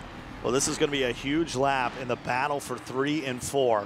As you can see, South uh, not testing the track limits, but maybe challenging the track limits at this point to try to get every edge he can uh, out of Mr. Jack, who, as you mentioned, just continues every time we come out of turn 14, cross the start finish line. So at some point, he's going to have to overtake him really before turn 12 and maybe turn that chicane of of 12 and 13. It's not really a true chicane. It's a it's a, it's a right-hander and immediately back to the left. I mean, I guess you could call it extended chicane. Uh, that's that that might be his best opportunity. I mean, we talked about smell-o-vision and South can. he can smell third position here. It must be. It's a. It's very tempting to start being more aggressive with the track limits. To start finding more places where you can find speed around the circuit. Uh, if you have. Oh my goodness! He's there, going to the, the inside here. South sending it. Beautifully done up the inside of Mr. Jack. I think he's done this move previously, and Mr. Jack's been straight back through on him. He can't let it hold. Now this he's going to have a defensive line here. Holding it, holding Can he it. hold off Why Zermatt comes up? Zermatt is South's absolute dream right now because he's slowing down Mr. Jack in that battle for fourth. This is giving South the opportunity that he needs. There's just one lap remaining after this, so South isn't far away from holding down this third position. And Davy Skills also getting in the mix causing uh, some serious traffic to negotiate as we get up on the oval, coming back to the start finish line. And really, South picked the perfect moment to throw that move. And now Mr. Jack going to have to have a bit of revenge factor in our final lap here at Indy. And you can see that Maserati can really go on the straight. For I was looking, we, we were all looking backwards there from South as Mr. Jack rolled in behind and it looked like he was going to send it for a second, bit of a dive bomb into turn one. Mr. Jack, much more respectful than that, pulls back eventually, but he had a little sniff there. He had a look. And to the inside, there through turn one and two, back around three now. Here in the final lap, you can see Zermatt, he's not done.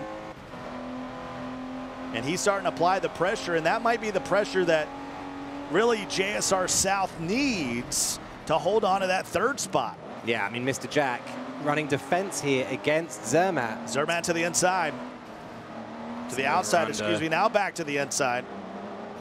Looking everywhere for that over-under. Davy Skills wants it as well. Davy Skills trying to follow Zermatt through here. Both of these Maseratis going to disappear on the straight compared to Davy Skills. As Brap, Davy Skills is in there though. He's up the inside.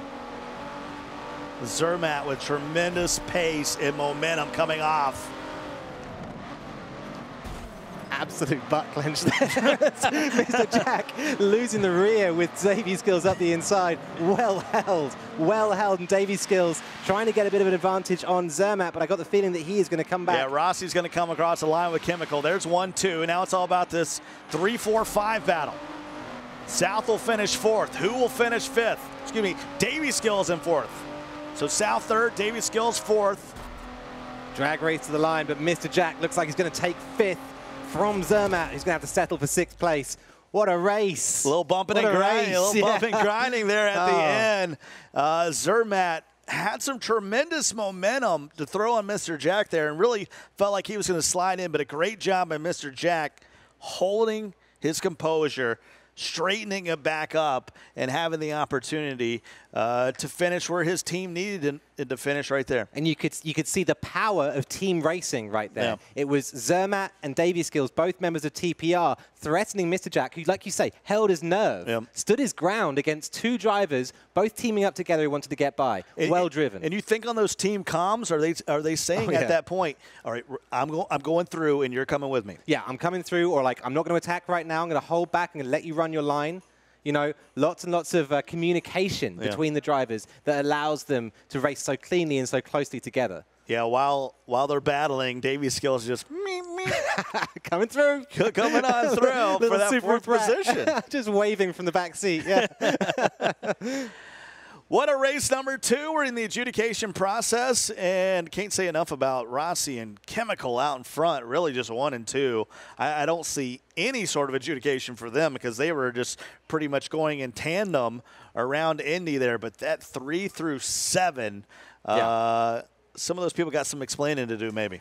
I mean, they are the marshals. I've got to talk about the marshals for a second. here. Okay, We're sure. We're going to marshal talk. Sure, That's I'm right. Grab, grab your cup. um, they've got to change their attitude, the marshals, from different race to different race. Because we, we have a lot of Yeah. different cars here at the Forza Racing Championship. You know, so 700 cars in the game, lots of different divisions, and uh, lots of ways to do motorsport. Some of them, yeah, you can't tap each other. Otherwise, bits fly off the car. Sure. Carbon fiber goes everywhere. You put them in heavy duty off-road cars. Sure. The marshals aren't going to slap anyone on the wrist if they're grinding a little bit. It's more, it's with the egregious fouls. I think that's the second time I've used egregious today. Yeah, I- mean, Loving and- that word. And some of the we talk about the difference between cars with a lot of down, downforce, a lot of grip. You can really hold a line. Or hey, I'm driving a big SUV and I'm just trying to. I'm just trying to keep my momentum around, you know, turn seven, for example. Right. And I'm going to fade a little bit. I'm not trying to fade. It's just going to happen. Yeah, and there was, there was a moment we saw when it was one of the F-150 trophy trucks coming down the inside of the corner, and on the outside of it was a Subaru Brat. And it's like, if that trophy truck just slides a little bit, that Brat is going miles out because Sure. it's a huge amount of momentum that it carries with it. You know, that speed and the mass of the car combining together to just make a huge amount of force to push a little car out of the way. So what you're saying is show a little bit of mercy. Yeah, Show a little bit, of mercy. forgiveness. Let him race. just, just, just let it happen. Lay back. It's going to be okay. Uh, but the thing that we're going to see here is F4H look really strong in race one, but in race number two, uh, we might have some change in some points. Let's take a look at the replay here of our oddball race with still one more race to go. But race number two had some fireworks between these three oddball cars. It did. The Maserati, the Brat, and the F-150 trophy truck. That was the big sim twitch there for Sterilizer, I think, in the Maserati. Uh, Revs, Davy Skills, and this was Diablo. All three of those guys fighting it out on track as well. The two F4H guys, maybe going a little bit kinder on each other than the TPR driver. Yeah, they're going to be well down the pack here. Of course, we have to wait for the adjudication process to see if they can gain some more points here. But how, how about Davy Skills? Just slowly just riding around the track. You see a move there by Paul to the inside, but the patience of Davy Skills knowing his time was going to come at some point. Yeah, and and that's you know Davy Skills. We talk about his experience a lot. He's a, one of the older drivers out there, one of the more experienced drivers, and he knows about patience. He knows about taking his opportunity when it arrives and not rushing things. Great race from him. This is the move right here. South, that was the one I was talking about where he was challenging the track limits. Uh, I'm not sure if it was three or four tires that were off the track at this one point, but he kept nipping at the heels of Mr. Jack, just waiting and waiting for this opportunity, and finally got to the inside and was able to go by Mr. Jack. And then luckily, here comes the TPR guys uh, to come and make it a little bit tougher on Zermatt, and that was allowed at JSR South just to hold on to that podium position. Yeah, Mr. Jack must feel a bit hard done by there because South got through from JSR and then he got held back by the two TPR drivers. So two teams in a way conspiring to hold Mr. Jack back, who did a great job to fight his way back into sixth. Well, let's take a look at the provisional results at that point. As you saw, a lot of bumping and grinding through this first race. Rossi up front. We talked about how Chemical raced so well. South coming into that podium position. Hopefully, it'll stick. Davy Skills just hanging around, uh, but but actually a, a pretty entertaining race. hugely entertaining for us. Some people it maybe not been so entertaining for was F4H. I didn't realize from the race order finish quite how difficult that was for them. So 8th, 10th, and 11th provisionally for F4H. Tough times. We talk about fighting for her. They're still hanging around over here, and they're actually hanging out with Kate. Yeah, they haven't they haven't moved out of their spots yet, but after that race, there's a chance that they may have. Diablo, your takeaways from that, because as a team, not what we saw from that first race. That didn't go very well. Um, Moral you of the know, story. you know, yeah, no, uh, you know, Sterilizer was out front in the in the Maserati. I think he would have preferred the Mitsubishi Evo. You and Thanks. Ali both, my Yeah, friend. thank- thanks, thanks for the vote on that. He uh, sim twitched off track. Um, I think it was first or second lap, and then the Brat race pace wise, it was a quick car, but Yeah. it was getting out dragged on the straights really badly. So it was really hard to maintain a position once you got into it. Uh, I got passed a few times just off cars that were you know 20, 30 miles an hour quicker on the straights. Um, yeah, that was that was a really tough race. I think this third race will go better with the with um, the Sport GT Icon cars. You know, cars we're a little bit more familiar with, Yeah. and cars that uh, and possibly on a track that we're a little bit more familiar with too. Indy, the Indy GP track's tough. Yeah. Well, it's my, I, I'm so partial to indie, any anything indie, anything at that Yeah, speedway. sure. I'm like, hey, I'm all for it. Okay, so Diablo, two things from chat that was picked up from you. Okay. Um, get that shifting times down. You just can't get them. Do you agree or disagree? Um, no, I don't agree with him because the re- if anyone that's watched Forza replays, um, there's a little bit of a delay on when a shift is. You know, we're using manual with clutch in all of those cars just now. Um, if there's a little bit of delay on replay, that's one thing. But uh, I mean, we're doing the. I've, I've been racing for a while. I, I, I know how to shift the car, so Okay, I gotta but- disagree with that. Okay, and he's smiling right now. I just want you to be aware because someone asked if you ever smile. To me, you smile. I have, I have all a, day. Yeah, no, um, yeah, I was just mentioning to you. So if anyone's seen the movie School of Rock, you know Jack Black, um, I think it was you know mid 2000s movie. Uh, he makes a joke about um, the bassist. You know the, the way you play bass is you just. You just you don't have a smile. I- I'm a bassist, you know. I grew up playing jazz bass, so I'm not gonna smile when I'm focused. It's just not It's something I'm gonna do. like- some people I'm stick their tongues fun. out. Some people smile. Some people raise their hands in the air, and you Yeah. just are focused face. Yeah, just yeah, just very focused. If, Cool. if I'm having, if I was further up front, I probably would have cracked a smile. Eighth isn't really what I wanna, where I want to be. Sterilizer, one guy who was not smiling throughout that uh, little race was Sterilizer. All right, we saw that replay. Uh, from your perspective, what happened?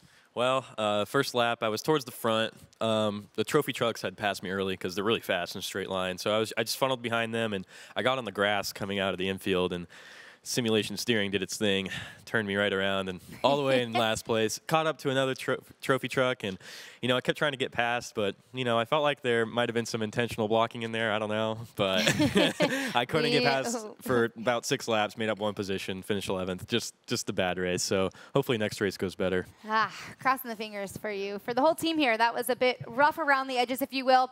All right, it, uh, that was oddball, right? We, we're talking the Brat, we're talking the trophy truck, the Maserati. Well, a little champ versus champ, they wanted to get in on the oddball action as well. Take a look. We have champ defending IndyCar Series champ Joseph Newgarden versus Tanner Faust.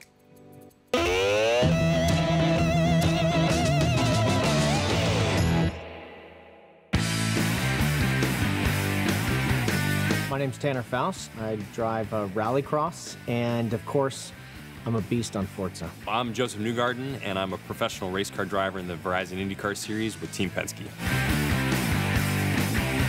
In this challenge, I've chosen a wicked little car, a 1965 notchback Type 3 Volkswagen Karmann Ghia.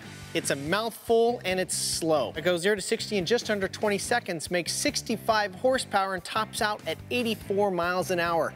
All numbers that Joseph is completely unfamiliar with, and hopefully that gives me an advantage. Tell me more about this car. Why, why this one? Uh, because it's gorgeous. I mean, look at it. It's absolutely beautiful. It's pretty, but it's it's very old. It's a classic, man. It's not going to go very fast. I've chosen Long Beach. I know this place pretty well. I know you know part of it, but not quite like I know it. I'm not saying you're predictable. I'm just saying that Long Beach being a track you've raced many, many times, of course you would choose that. I would do the same thing. So I'm handicapping you with a 65 horsepower Volkswagen that tops out at 85 miles an hour. So buckle up. Oh, look at this. Wow, this, This is. is barely moving. We may run out of film by the Wait, time we get to my segment. Oh, so, so much cheating. I feel like that was legal. It's so your speed. This is where you live right here. You're like 50 to 60 miles an hour is where Tanner lives. Let's break it down. This is about momentum. And I like momentum, but I like momentum at like 120, not 50. Look at this, just over every curb possible, completely cutting the track. Oh, you're keeping second. I think that was actually a smart move. Good luck, my friend. Whew, Impressive is it hot in here? Driving in socks is an interesting strategy. You know, I think that's that's probably helped your game a bit. Feel with the Karmann Ghia, you really have to be tuned into exactly what's going on. Do you think so? I think you need zero feel for the Karmann Ghia.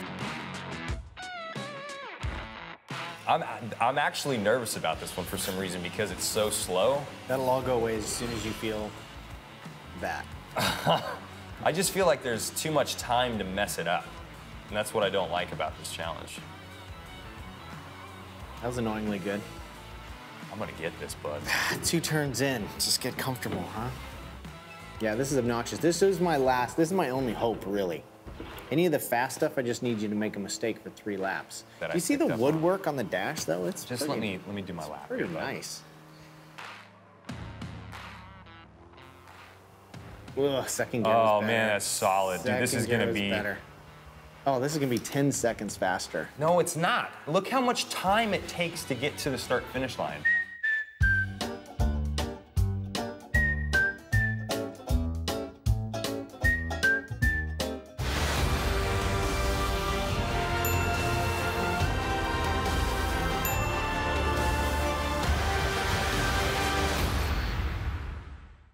Let's see you do some victory donuts in the Karmann Ghia. This should be good. Nope. No. You're- you're not gonna you're not gonna get any burnouts, donuts, or anything in that one.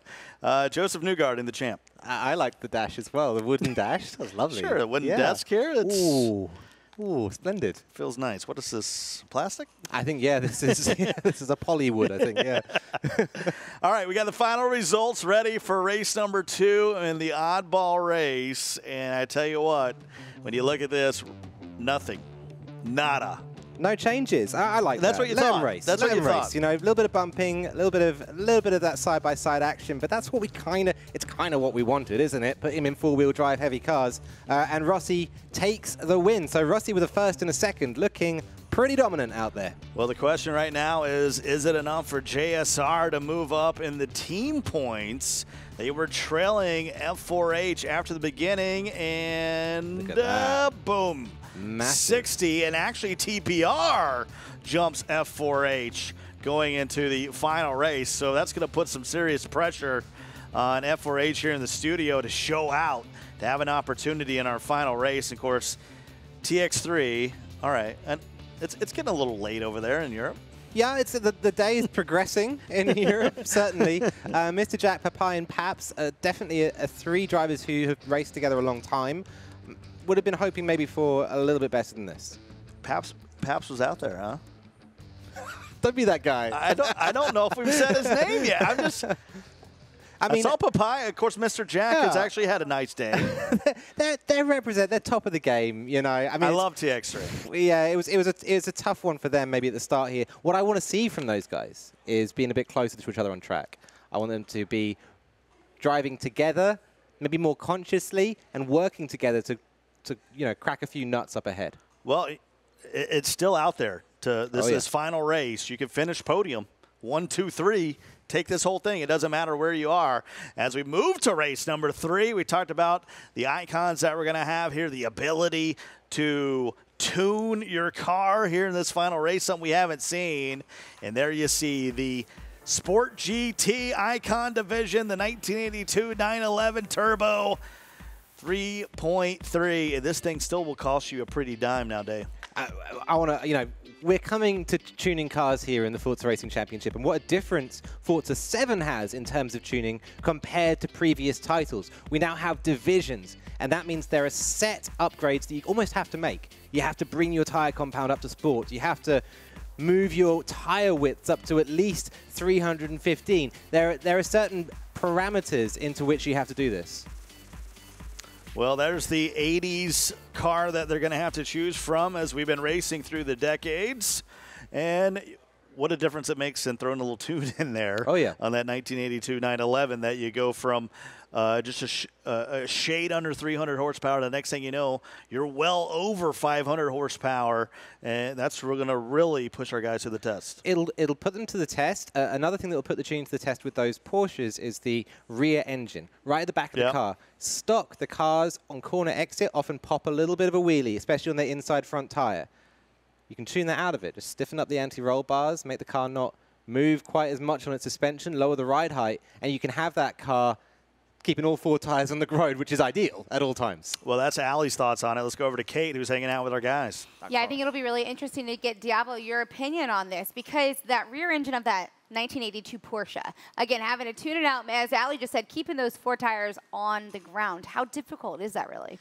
Uh, the 82 Porsche is a really hard car to tune. Those that have done Forza RC, I believe from last year, know kind of the horrors of driving that car at Catalunya National. Um, the biggest thing with this car is the body roll and the weight transfer. Porsche's have, or the Porsche 911 has their engine behind the rear axle, which makes the weight distribution of the car really hard to drive. It's very unusual. So what you'll have is when you get on the throttle in these cars, they'll just go straight. They'll accelerate hard, but they will go straight the, the way the way it's pointing. You're not gonna be able to turn that well. So tuning this car, the biggest thing is making sure that the front wheels actually, when you turn, actually do what you want it to do. and that's uh, it's easier said than done.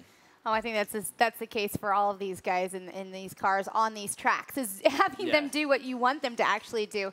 And as we kind of move our way through the 2000s, there tuning those kinds of cars and the options that we have there. What's the different kind of challenges that are maybe presented?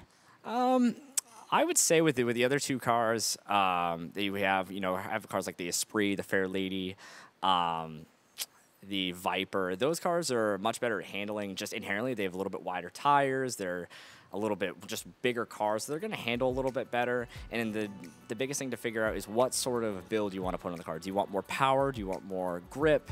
Um, do you want kind of a little bit of both? Um, we have a choice between Silverstone and Sebring. Sebring is more of a power track and acceleration track. Silverstone, it's a little bit more of a momentum track, but you can get away with having a high accelerating car because there are nice little short straights. So um, I guess it depends on your driving style and what you're really wanting to get out of the car. Okay, out of those 2000s, which ones did you guys pick?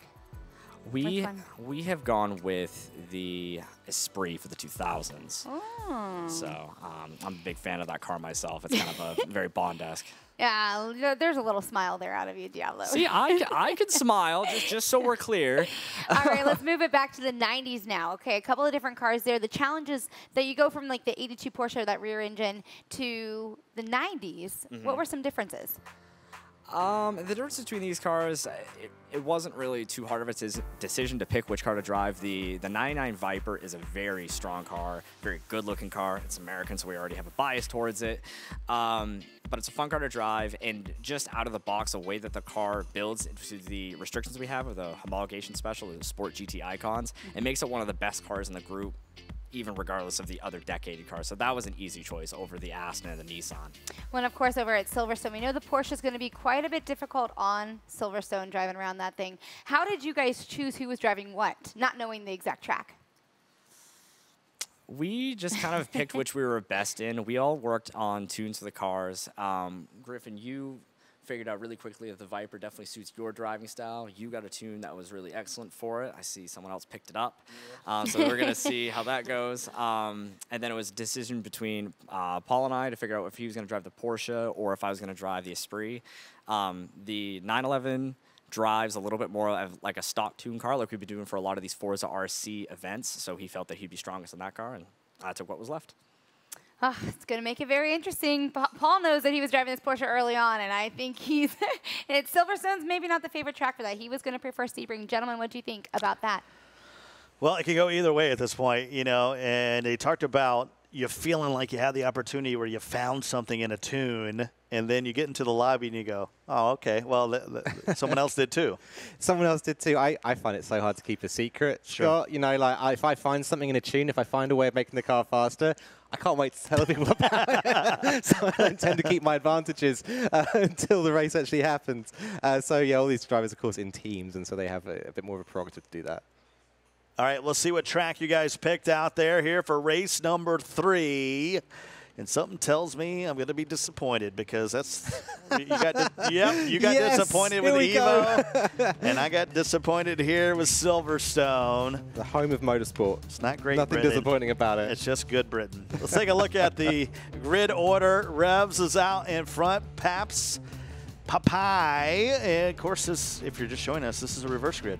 This is a reverse grid. So, yeah, some of the lowest scoring drivers uh, from the earlier heats at the front of this grid. Rossi right at the very back, side by side with JSR South. And that shows you how well JSR have been doing in the early part of this competition. Sport Division icons all tuned up here on Silverstone. And here we go. Final race of the day. Race one of seven. And it's time to rock and roll. And look at Revs go. Look at Revs go. Beautiful line through turn one. Got his braking perfect. Allowed Paps to overextend in there and did the over-under on him. TPR Zermatt now up the inside in the Esprit V8. Weighs 2,800 pounds. So it's almost, almost 3,000, making it look very light indeed. And Papai falling backwards now. Well, he's allowed his teammate Paps to go into third, so it's not all lost. You can see JSR Type R as well wide back there. And we got someone spinning out to the inside. We'll have to catch up on who that was that was falling all the way back.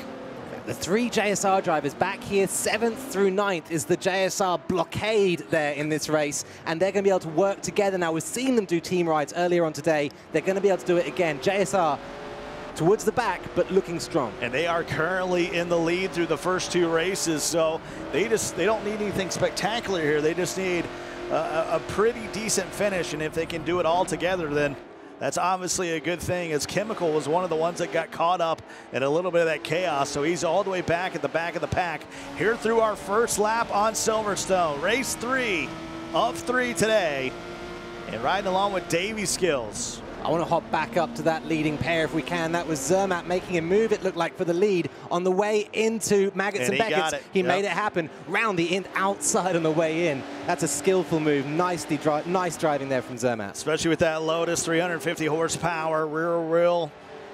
Able to make it happen, throw the move on the Porsche of Revs. Now Paps looking to do the same thing. Thought about looking to the inside. Now Revs has overcooked it a little bit. He's gone wide. That's going to allow the opportunity for Paps to come through. Who's making me eat my words from asking where he's been all day. He's here. The time is now. Yeah, Revs be kicking himself. A little bit of smoke up ahead there. The battle for third coming alive. That's Mr. Jack up against. I'm failing to see who's up there in third defending, but fighting his way toward that last spot on the podium.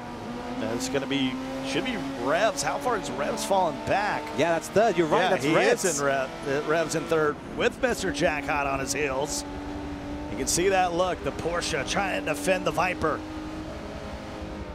And, I keep saying, I know this is team racing, but I can't wait to see this on an individual level, where you have so many different characteristics and vehicles. It just really adds a whole different level of excitement here. Lap two of seven. We've already had some fireworks in our final race of the day here in Europe. Are coming to you live from the home of Forza Motorsports here in Seattle, Washington. 17 days away from making the trip down to Mexico City. There's a little bump.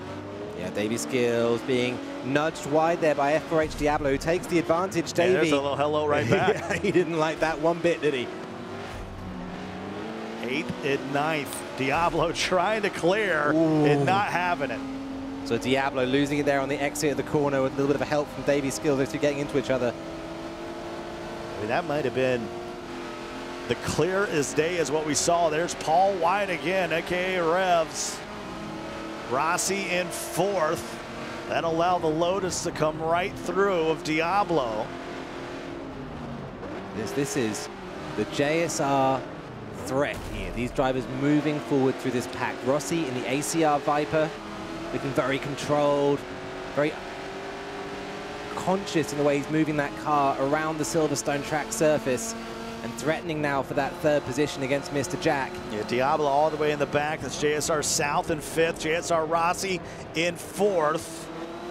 Have Revs behind him in that sixth position. Can't TX3 Mr. Jack hold the door?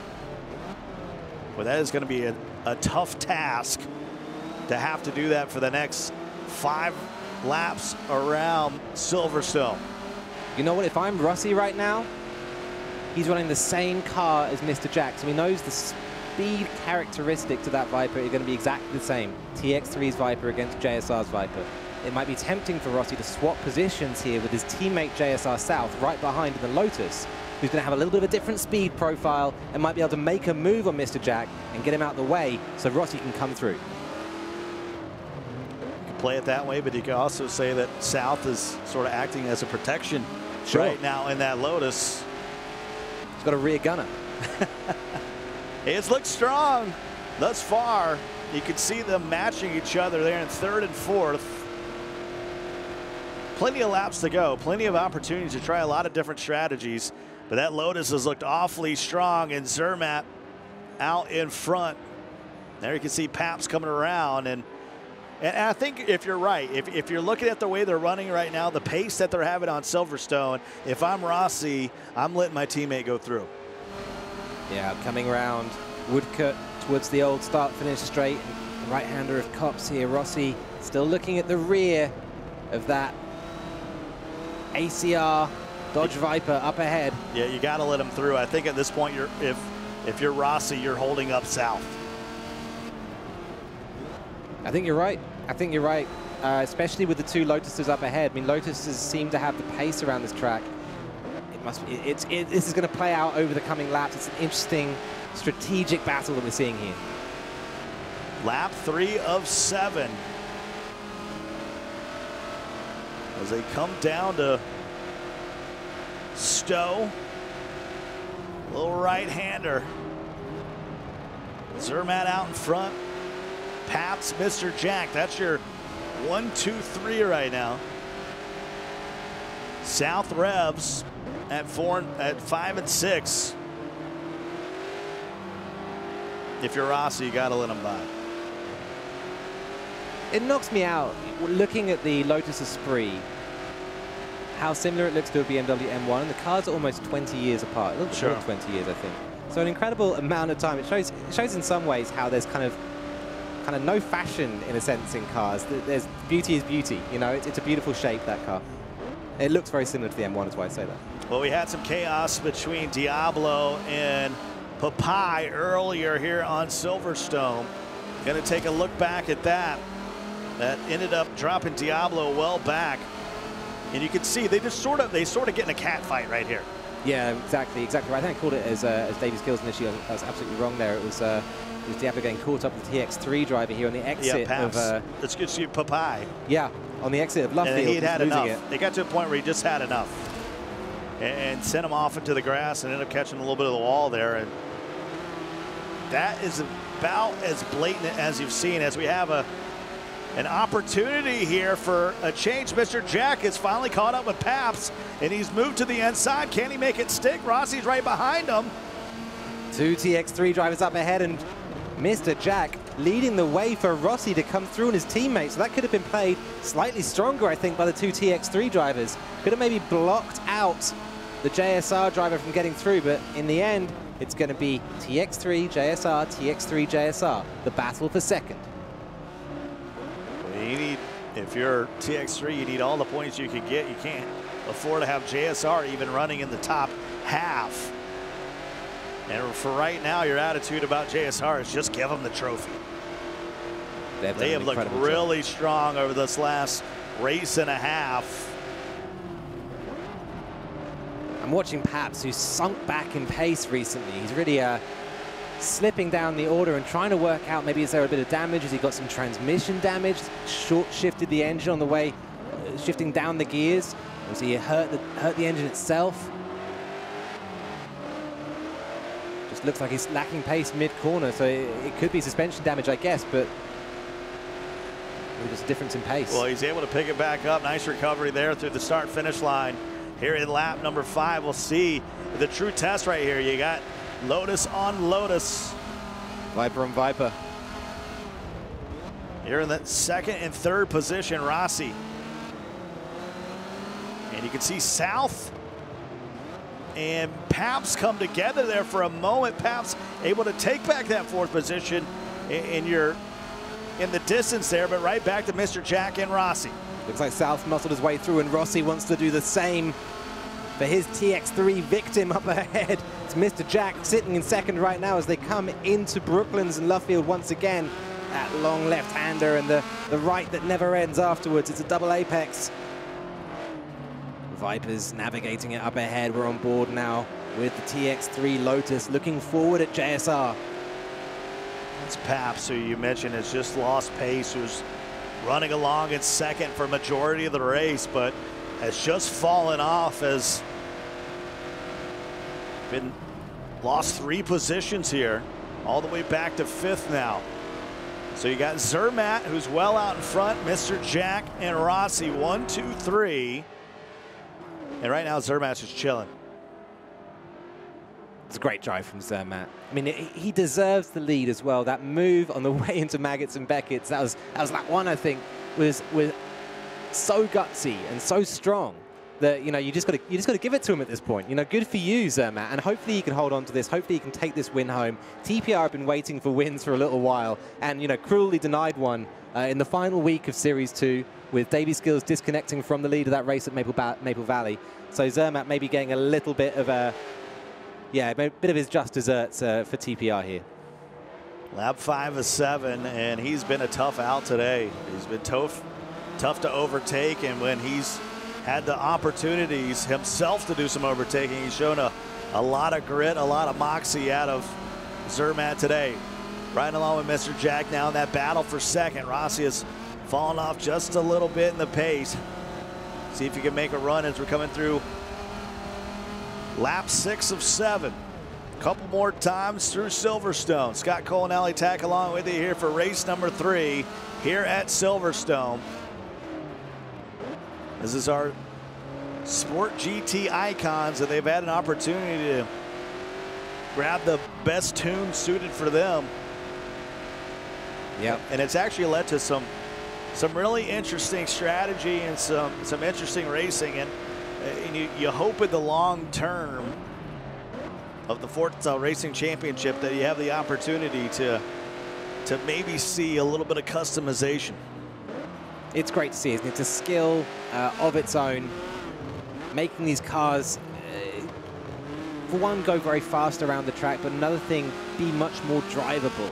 You know, give you the feedback that you want from the steering, from the acceleration, from the braking and uh, give you the rotation that you're looking for in, through, and out of the corners.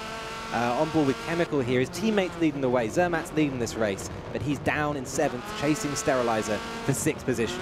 Got Davy Skills in ninth, so that's how the TPR boys are doing it. TX3 has Mr. Jack in second. Paps in fifth. And then Papai all the way in the back as him and Diablo got into it earlier in the race. And so it's it's them in the very back. They can yeah, you, you go at it now. Well, this isn't the race that F4H needed, is it? I mean, F4H no. fighting for second here um, up against uh, TPR. Those two separated by one point in second and third in the uh, in this in this little uh, cup that we're running now, and F4H need a strong result in this final race in order to get second place, or even been with a chance of it. And maybe they need to do a little bit better than what they're doing right now. Diablo down 11th. Final lap here of our European show here on Silverstone in Zermatt. That's a good look at it right there. When you when you go to overhead cam and there's no one around, it means you got a healthy lead going into the final lap. And really, it's just up to you to be very technical and sound through this final lap to provisionally get yourself across that finish line. The battle is going to be in that second and third position between uh, right there, Mr. Jack and JSR Rossi. But I cannot say enough about JSR and their ability to perform well in these team challenges that we passed out. We can speak to JSR and how strong they've done. At the same time, you know, we've got to have a word for Mr. Jack here as well. He's held his own in second place. I looked at him, lap two, we had two JSR drivers all over his rear, and I was thinking it's a matter of when, not if, he's going to crack. But Mr. Jack showing his mettle here in second place, holding those other drivers off and even overtaking his own teammate. Well, that's the battle right there as they go across the old start-finish line here at Silverstone. Final lap, Mr. Jack and JSR Rossi, two Titans battling out. They both have secured a podium position, but can you make one more step up? And right now, JSR Rossi, Ali, he's thinking about total team domination. He certainly is. He's uh, not finished off the podium in any of the races uh, from today. Even if he brings home this result third, it will be his, his worst, but still a podium result looking up there towards Mr. Jack. He'll wish he could have got by, uh, not least because I think he could have maybe held Mr. Jack up a little bit and helped JSR South in fourth make up a position. That's the problem. You, you, know, for the first time, Rossi with the, went with the composite instead of the wood grain. yeah, the, the wood You're grain, right. the wood grain, he looked tremendous. He looked. He, was, he had a rich mahogany flavor. Several, you know, in several, you know, leather-bound books That's in right. the in the passenger He's a very seat. important person. Yeah. And Zermatt, he'll show us, give us a little, give us a little some style points there at the end. As provisionally, he'll take it. Mr. Jack will hold on to second. Rossi in third. So provisionally in our final race here in our European show, that is your one, two, three, Ali, and I think tunes are a success. What a success! And I mean, I'm so happy for Zermatt. You know, what a great job he's done. It, TPR this year have been absolutely, you know, having a renaissance. Uh, the, these guys have come back, you know, reformed the old team, made, Yeah. you know, brought the old band back together. Well, fresh win. Yeah, fresh win. They've been practicing in the garage, and here they are. You know. We got to get Davy Skills to put the eh, put the tag back on the name though. Oh yeah, yeah. He's got to do it. He's got to buy that, buy that uh, game Look, tag. looks like a bit of a privateer at, at, at the moment. if you need 10 bucks, buddy, I'm willing to PayPal you uh, to get that. And I, I think I know a few people at Microsoft as well. Yeah, yeah, you might be able to swing that for him. You might be able to swing it for him. But uh, yeah, a great result for, T- for TPR there. JSR looking strong for the big W here, though. Uh, anything as we saw the provisional uh, and, and our eyes go across there, is there is there anything that you saw out there on the race that would lead you to believe uh, we, we will have some adjudication? Well, that, that move that we saw a couple of times between, yeah, Papai and Diablo, Paps and Diablo, Papai and Di- I, I get confused between the two of them. I've been calling it the JSR Porsche. um, yeah, so a little bit of a, a little bit of a moment there with those two drivers. Um, it looked like frustration, didn't it? It didn't look like it was entirely Disappointing day for. TX3. All in all, yeah. I mean, it's a disappointing end to a disappointing yeah, yeah, campaign. Um, at this point, uh, you're basically finding out who's going to finish second. Yeah, in a sense, right? In Right, a sense, and it's yeah. one point separating TPR and uh, and F4H. The guys right here in the studio with us. Uh, have they you have make they the trip enough? all the way out to Seattle, and if you finish third, you're like, what? Yeah, I mean, I guess we won't take him to lunch. No, not happening. Let's take a look at the replay here. Race number three here in our Sport GT Icon. It was good to see him tuned up, and we, we knew the Porsches are going to be tough. They started off really like a rocket, uh, but it's a little too much on Silverstone uh, for these, uh, I don't know, these these German miracles. I see where you're going with it. Yeah, it's- this is a very tough vehicle to keep on this track with the other two vehicles out there. It's it's a hard vehicle to drive. Uh, you know, Diablo gave us some great insight there into how difficult the car is to tune. Uh, and it, you know, if you tune a car to feel great to what you, how you want to drive it, it's often not fast. You have to keep a bit of the character of the car. Ooh, that was a bit of a bit of a moment, wasn't it, Papai and uh, and and Diablo? Um, if you tune the character out of the car, it's often not fast enough. Yeah. And you're, you're trying to keep that pace. As you're also trying to keep up with these, you know, with the Viper and the Lotus, and you sort of you're pushing the car to its very limits. Uh, and with it with it being a little lighter than the other two, and especially not as wide, not not it doesn't have the stance of the other two vehicles. When you start to come together, uh, you're going to lose out. You're absolutely right. It's about that stance, that confidence that these cars have sitting on the track. The Porsche looks a li- it's a, it's a lot older. You know, we should keep in mind it's the oldest car out there, and these cars have development the other ones don't. Uh, and and there you go. That's what happens when you drive a great car around this track. Zermatt takes the win with a little bit of flourish across the line. It was so good to see. Well, I tell you what, the, you know, when you th- when you think about coming into the playoffs and who's going to have a good run, I mean, Yeah. some of this team team stuff will help, but the way you you race in those final couple weeks of of Series Two has a lot to do with the way you might finish when you think about Mexico City.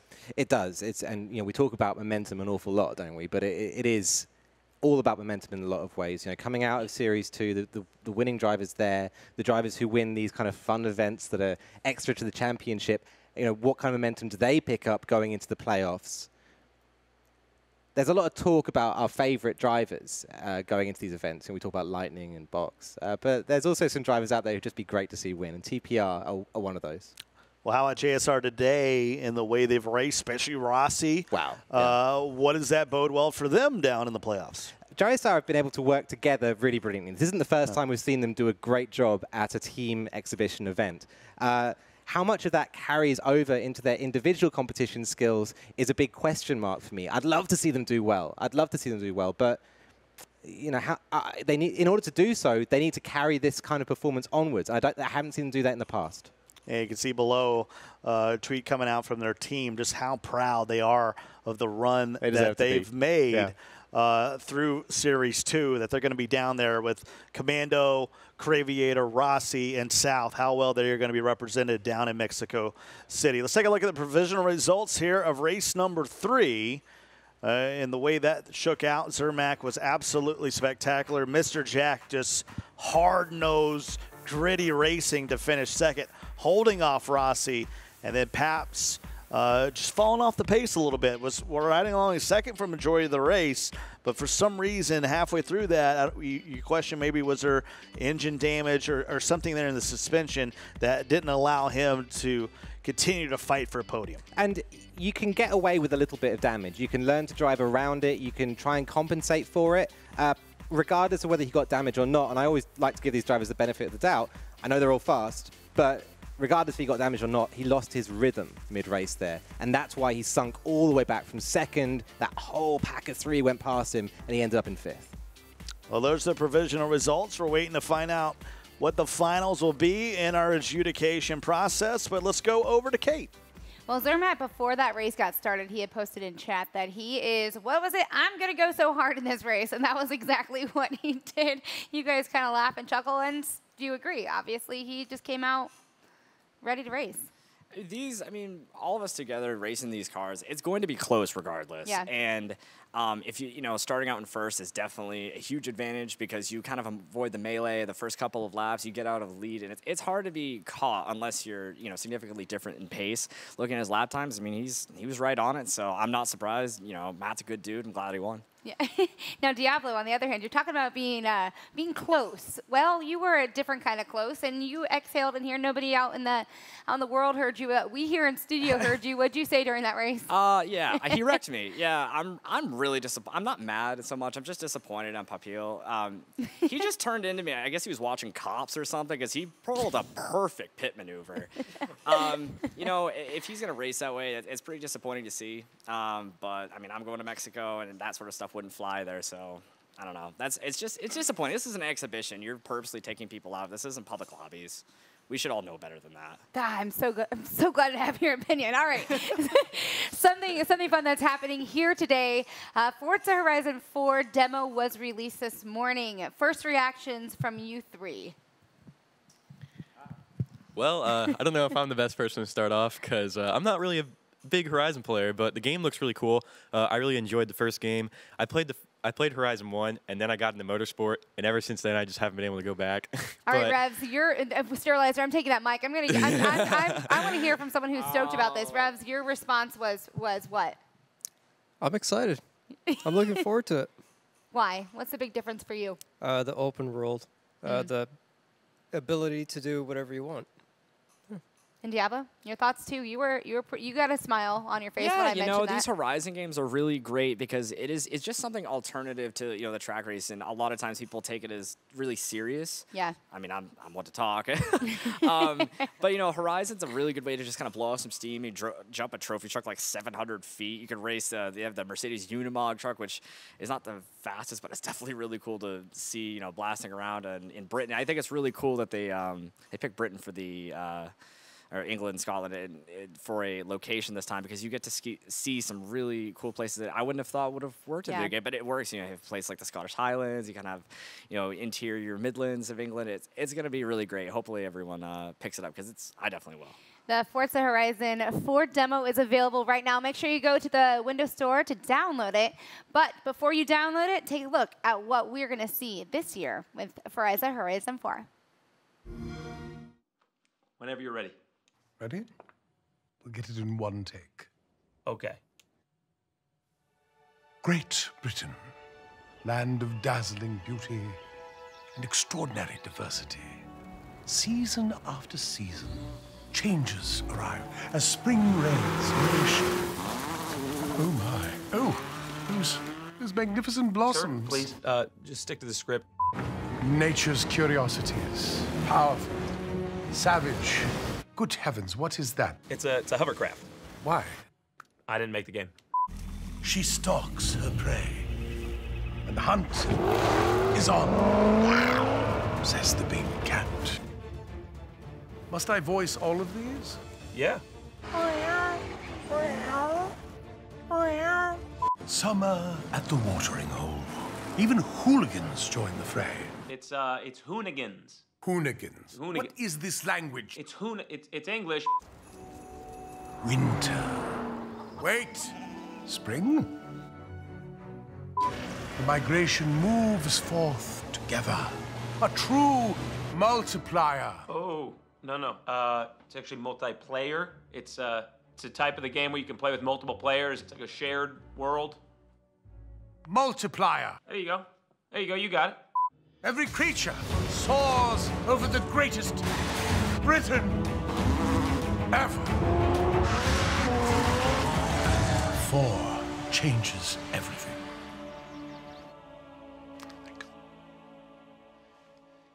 Okay. Get the Ultimate Edition and play four days early. Well, that's my jam. That's my uh, Forza Horizon is my jam. And uh, first, first of all, Meckberg is in the chat. Uh, he said that Diablo went full dad mode on Papai there. Um, He wasn't angry. I'm just. I'm not angry. I'm just disappointed at, at this moment. Just disappointed. Go to your room. We'll think about it. Come been- back out. Race later. I've been loving Diablo's quotes today. He's, he was like, I've been playing for like 10 years. I think I can shift a gear. that was one of his quotes. I love that. You know, I've had the opportunity to play Forza Horizon 4 Right. because I'm preparing for a battle against Ludacris, the Mm. rapper actor. He's more furious than fast at the game, uh, but um, it's just a tremendous, especially with not only the location that it's in in Britain, but the the change of seasons and. At some point, you got to put the McLaren away for a moment when the when the the ice and the winter comes through. That's when you'll finally want to get in your McLaren SUV, not McLaren, your Maserati SUV. McLaren would be very upset at me because they will never make an SUV. But you know what I mean? That's the interesting Yeah. thing about just like we have dry and Sure. wet tracks. Now in Forza Horizon, you're going to have the opportunity to face all the elements and all the seasons. My mum, right, is a uh, she's a landscape historian. I'm obviously from the UK. Uh, my mum's from a landscape historian from, from around there, and she's uh, very involved with uh, the I know, I know her very well. Yeah, pr- preserving the heritage. You know her well. Yeah, preserving the heritage of the UK, and so it's like dry brick walls are a big thing there. You don't want to. You have people taking bricks off them, and then they disappear. Laid by the Romans, they are. So spare her a thought while you're sliding a McLaren Senna sideways down down our heritage, and it's flying everywhere. um, yeah, no, I can't wait. It's gonna be so much fun. Yeah, October 2nd. Make sure you guys go check it out. Of course, you can get the the Ultimate Edition to get it a few days early, and we'll see how good Ludacris is when we get to that point. A little Xbox Live session. Uh, we are on the road to Mexico City. We're here having fun, obviously. Uh, today, hanging out with some some great team racing, but it's all about that road down to Mexico City, and um, it's going to be interesting because you, you go from the online experience to all of a sudden you can reach out and touch somebody. Yep. And uh, some of these big names strike some can strike some fear. it's it's intimidating and you know honestly we almost create the event to be Yeah. intimidating it's it's a scary thing come along you know grab a controller and start racing against the very top people in the game you're all in a room together uh, it's it's a very scary thing this is the tournament structure we're looking at right here Yeah, 36 drivers. You can see split up into three groups. We showed you those earlier. Then you advance to Saturday, midday 24, and then the top six from each of those will be on Sunday, 11 a.m. Top 12 drivers from Series 2 are battling out and get those very crucial points to try to make your way into London. it's such it's it's such an amazing environment and it's the place that all of these drivers practice for it's what we've been doing all year hot housing these drivers work having them work together work against each other and uh, yeah fight for those victories who's going to come out on top i mean that's a, that's a massive question for every single driver who's entered the forza racing championship 2018 So make sure you join us Friday at 9 a.m. That's when we get started. Put on your calendar Saturday at 1 p.m. and then Sunday at 11 a.m. And I believe those are all Central Time. 1 p.m. Correct. Central. Central. There on Saturday and then Sunday, uh, 1 p.m. as well. Yeah uh, it's going to be it's to be awesome i can't i can't wait it's just a few weeks away All right, once again, if you're just joining us, here are the three groups, and they're all very beastly at the top. When you think of Hard BR, who's now Zoom, Force One, who's a real up and comer, Roadrunner there. They're in Group Two. You got Lightning, Mitch, also Rossi's in there as well. You talked about that Mitch Rossi rivalry, and then Box and Lage in a Venom sandwich. They're in Group Three. Some awesome new names as well in this uh, second round. RBM GUI 12. I'm going to work out how exactly to pronounce that. Uh, an old teammate of mine back when I was racing uh, is, is GUI 12. Uh, Wesley, someone who's qualified time and time again for these events, either wasn't old enough or couldn't get the travel sorted to come over and, and do them. Finally, we're going to see Wesley at a live event. Also, South, somebody who missed out. How, how did South miss out in the Series 1 finals? I don't know. He's here, though, in Series 2, and he's going to be there in Mexico. By the way, when you see us, come up and say hello. Ask us where the best tacos are, because we'll actually be there a couple days ahead of time, uh, scouting everything out, getting our bearings, and of course, playing Forza Horizon. Specifically the looking for the best places to eat. yes, absolutely. So there's your 36 that are headed down to, to Mexico City. Can't wait. I cannot wait. It's, it's going to be an absolutely huge event. Uh, yeah, so excited. All right. So that's where we are right now as far as Mexico City. Let's head back over to Kate. Uh, I'm just really excited, Scott, that it's a priority for us to find the best food spots while we're in Mexico City. Okay, so F4H right now, they're getting a chance to see the roster as well for the first time, too. I got up. My palms are already sweaty out of revs. Diablo, what's your takeaway from this very stacked group of, of racers? I mean, this is top 36 in the world. This isn't a surprise looking at it. Um, in terms of where I potentially could place, you know, I'm just gonna try my best, and that's the the fact that I made the top 36 was my goal. Anything on top of that, this is what it is. You know, if I don't make it into the into the semifinals on that Saturday, so what? I'm good to go to Mexico and hang out with some guys that I've seen and haven't seen before. So Yeah. I, I really can't complain about any of it. you know, in sterilizer for you, I mean, just taking it back a few weeks, you were called up to called called up to race in week three. In week two, you missed, and you actually having the chance to run in Mexico City is pretty amazing. Yeah, um, it is amazing, but looking at my group, I'm going to need a lot of practice. um, starting in 12th behind all these great drivers, it's going to be tough, but you know I'm going to do my best, and maybe if I can let the incidents play out in front of me, make my way up the field, uh, I can make it through maybe. So we'll see. All right, Revs, my friend. This is something you're coming in strong for the team. You're 25th, but you're looking at this group here. You're you're already seeing Yeah. kind of what you're up against. Yeah, it's. How do you prep and plan for something? Well, I just, as soon as this is done, I'm gonna go home and practice a lot. Uh, yeah, because that's chemical and virus. I mean, those guys are gonna be on it. So, and I have to stay above eighth. So, yeah, it's gonna be tough. You know, Revs, for you, I think the conversation for this year, season has been ups and downs, and you've really like felt that Yeah. roller coaster of emotions. You even said it's physically demanding, you know, mentally draining. Mentally, yeah, it's it's draining. It uh, having to practice a, a number of different combos. Mhm. Uh, yeah, it, it takes a lot out of you. Yeah. As it relates to having the team support, uh, uh, team support, you know, within this last year, you joined on board. You got a chance to get to know these guys on a deeper level. You actually told a great story with Diablo as well, and how you guys kind of kicked it off. How important is having that support?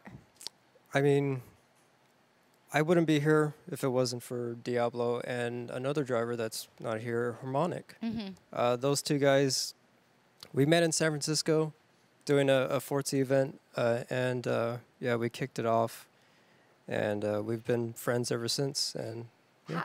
How special was it? One thing you had mentioned, you know, being a part of this whole community is the LAN trip and how journeying to there and the travel that that's really come on board with the Forza RC. It's something that you've never you never would have had a chance to, No. as you said. No, I never thought I would even I would even get close to being able to go, but yeah, the the FRC has made a lot of dreams come true. Yeah, that's for sure. I feel like that's probably true for each and every one of you. And I think I think one thing for sure though is true. We want to know what happened in this last race and if there was any any kind of shakedown. I don't know. Any thoughts? Um, the last race it was uh, I didn't have quite the pace as the the the Lotus or the Viper, Yeah. so I just got trampled right at the start. I mean, yeah. You knew the you knew the Porsche was going to be tough on that track. You had said that early on. Yeah. Gentlemen, I was, the, I was the best out of the Porsches, but Hey, that's Yeah. see, So- that's a takeaway. That's all you can ask for at this point that's in all time. I can take from it.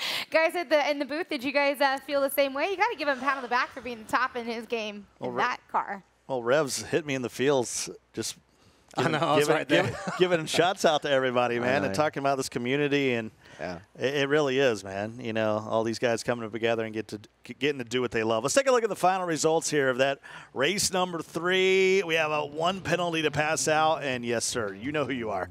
Yep, you know what you did as well as uh, Diablo and Papai coming together there. So there's a few more points. And that's for the best driver in each of the cars. yeah, that's so what's being handed 22 out for there. Zermatt. Right. Uh, and, he, and he got some extra for Mr. Jack, who was in the Viper. Correct. And then Rev's getting a little extra because he was in the Porsche. Okay, so that's an that's an interesting addition to the points there that we do. Is there's all sorts of bonuses happening there. Uh, so yeah, nice to see Zermatt, of course. Um, I just figure we made mistakes. We just we make mistakes all the time. But no, Zermatt was was the best in his uh, in his. He was in the Lotus. Correct. Yeah, Lotus. He was in the in the Lotus. Lotus, yeah. Mr. Jack was in the in the Viper, and then Revs down there at the bottom. So let's see where that ends up netting out these teams today. And JSR put up 90. 90. And, and Rossi is over half of that, 49 points. And it was close. Rossi was close to beating TX3. But Rossi As a team. Rossi today had the team that he needed, and I love to see that. JSR were there to support him. South and Type R were there to support Rossi and bring home this victory. So beautifully done by all three of them. Yeah, Rossi getting the lion's share of the points, but he had the team that he needed to take home victory. TPR, they take second from F4H. Yeah, you know, that's. Well, you, you feel for Mr. Jack. You feel for Zermatt, uh, who, who kind of carried their teams. But a little, little tip of the cap to, to Chemical as well, who had some nice races.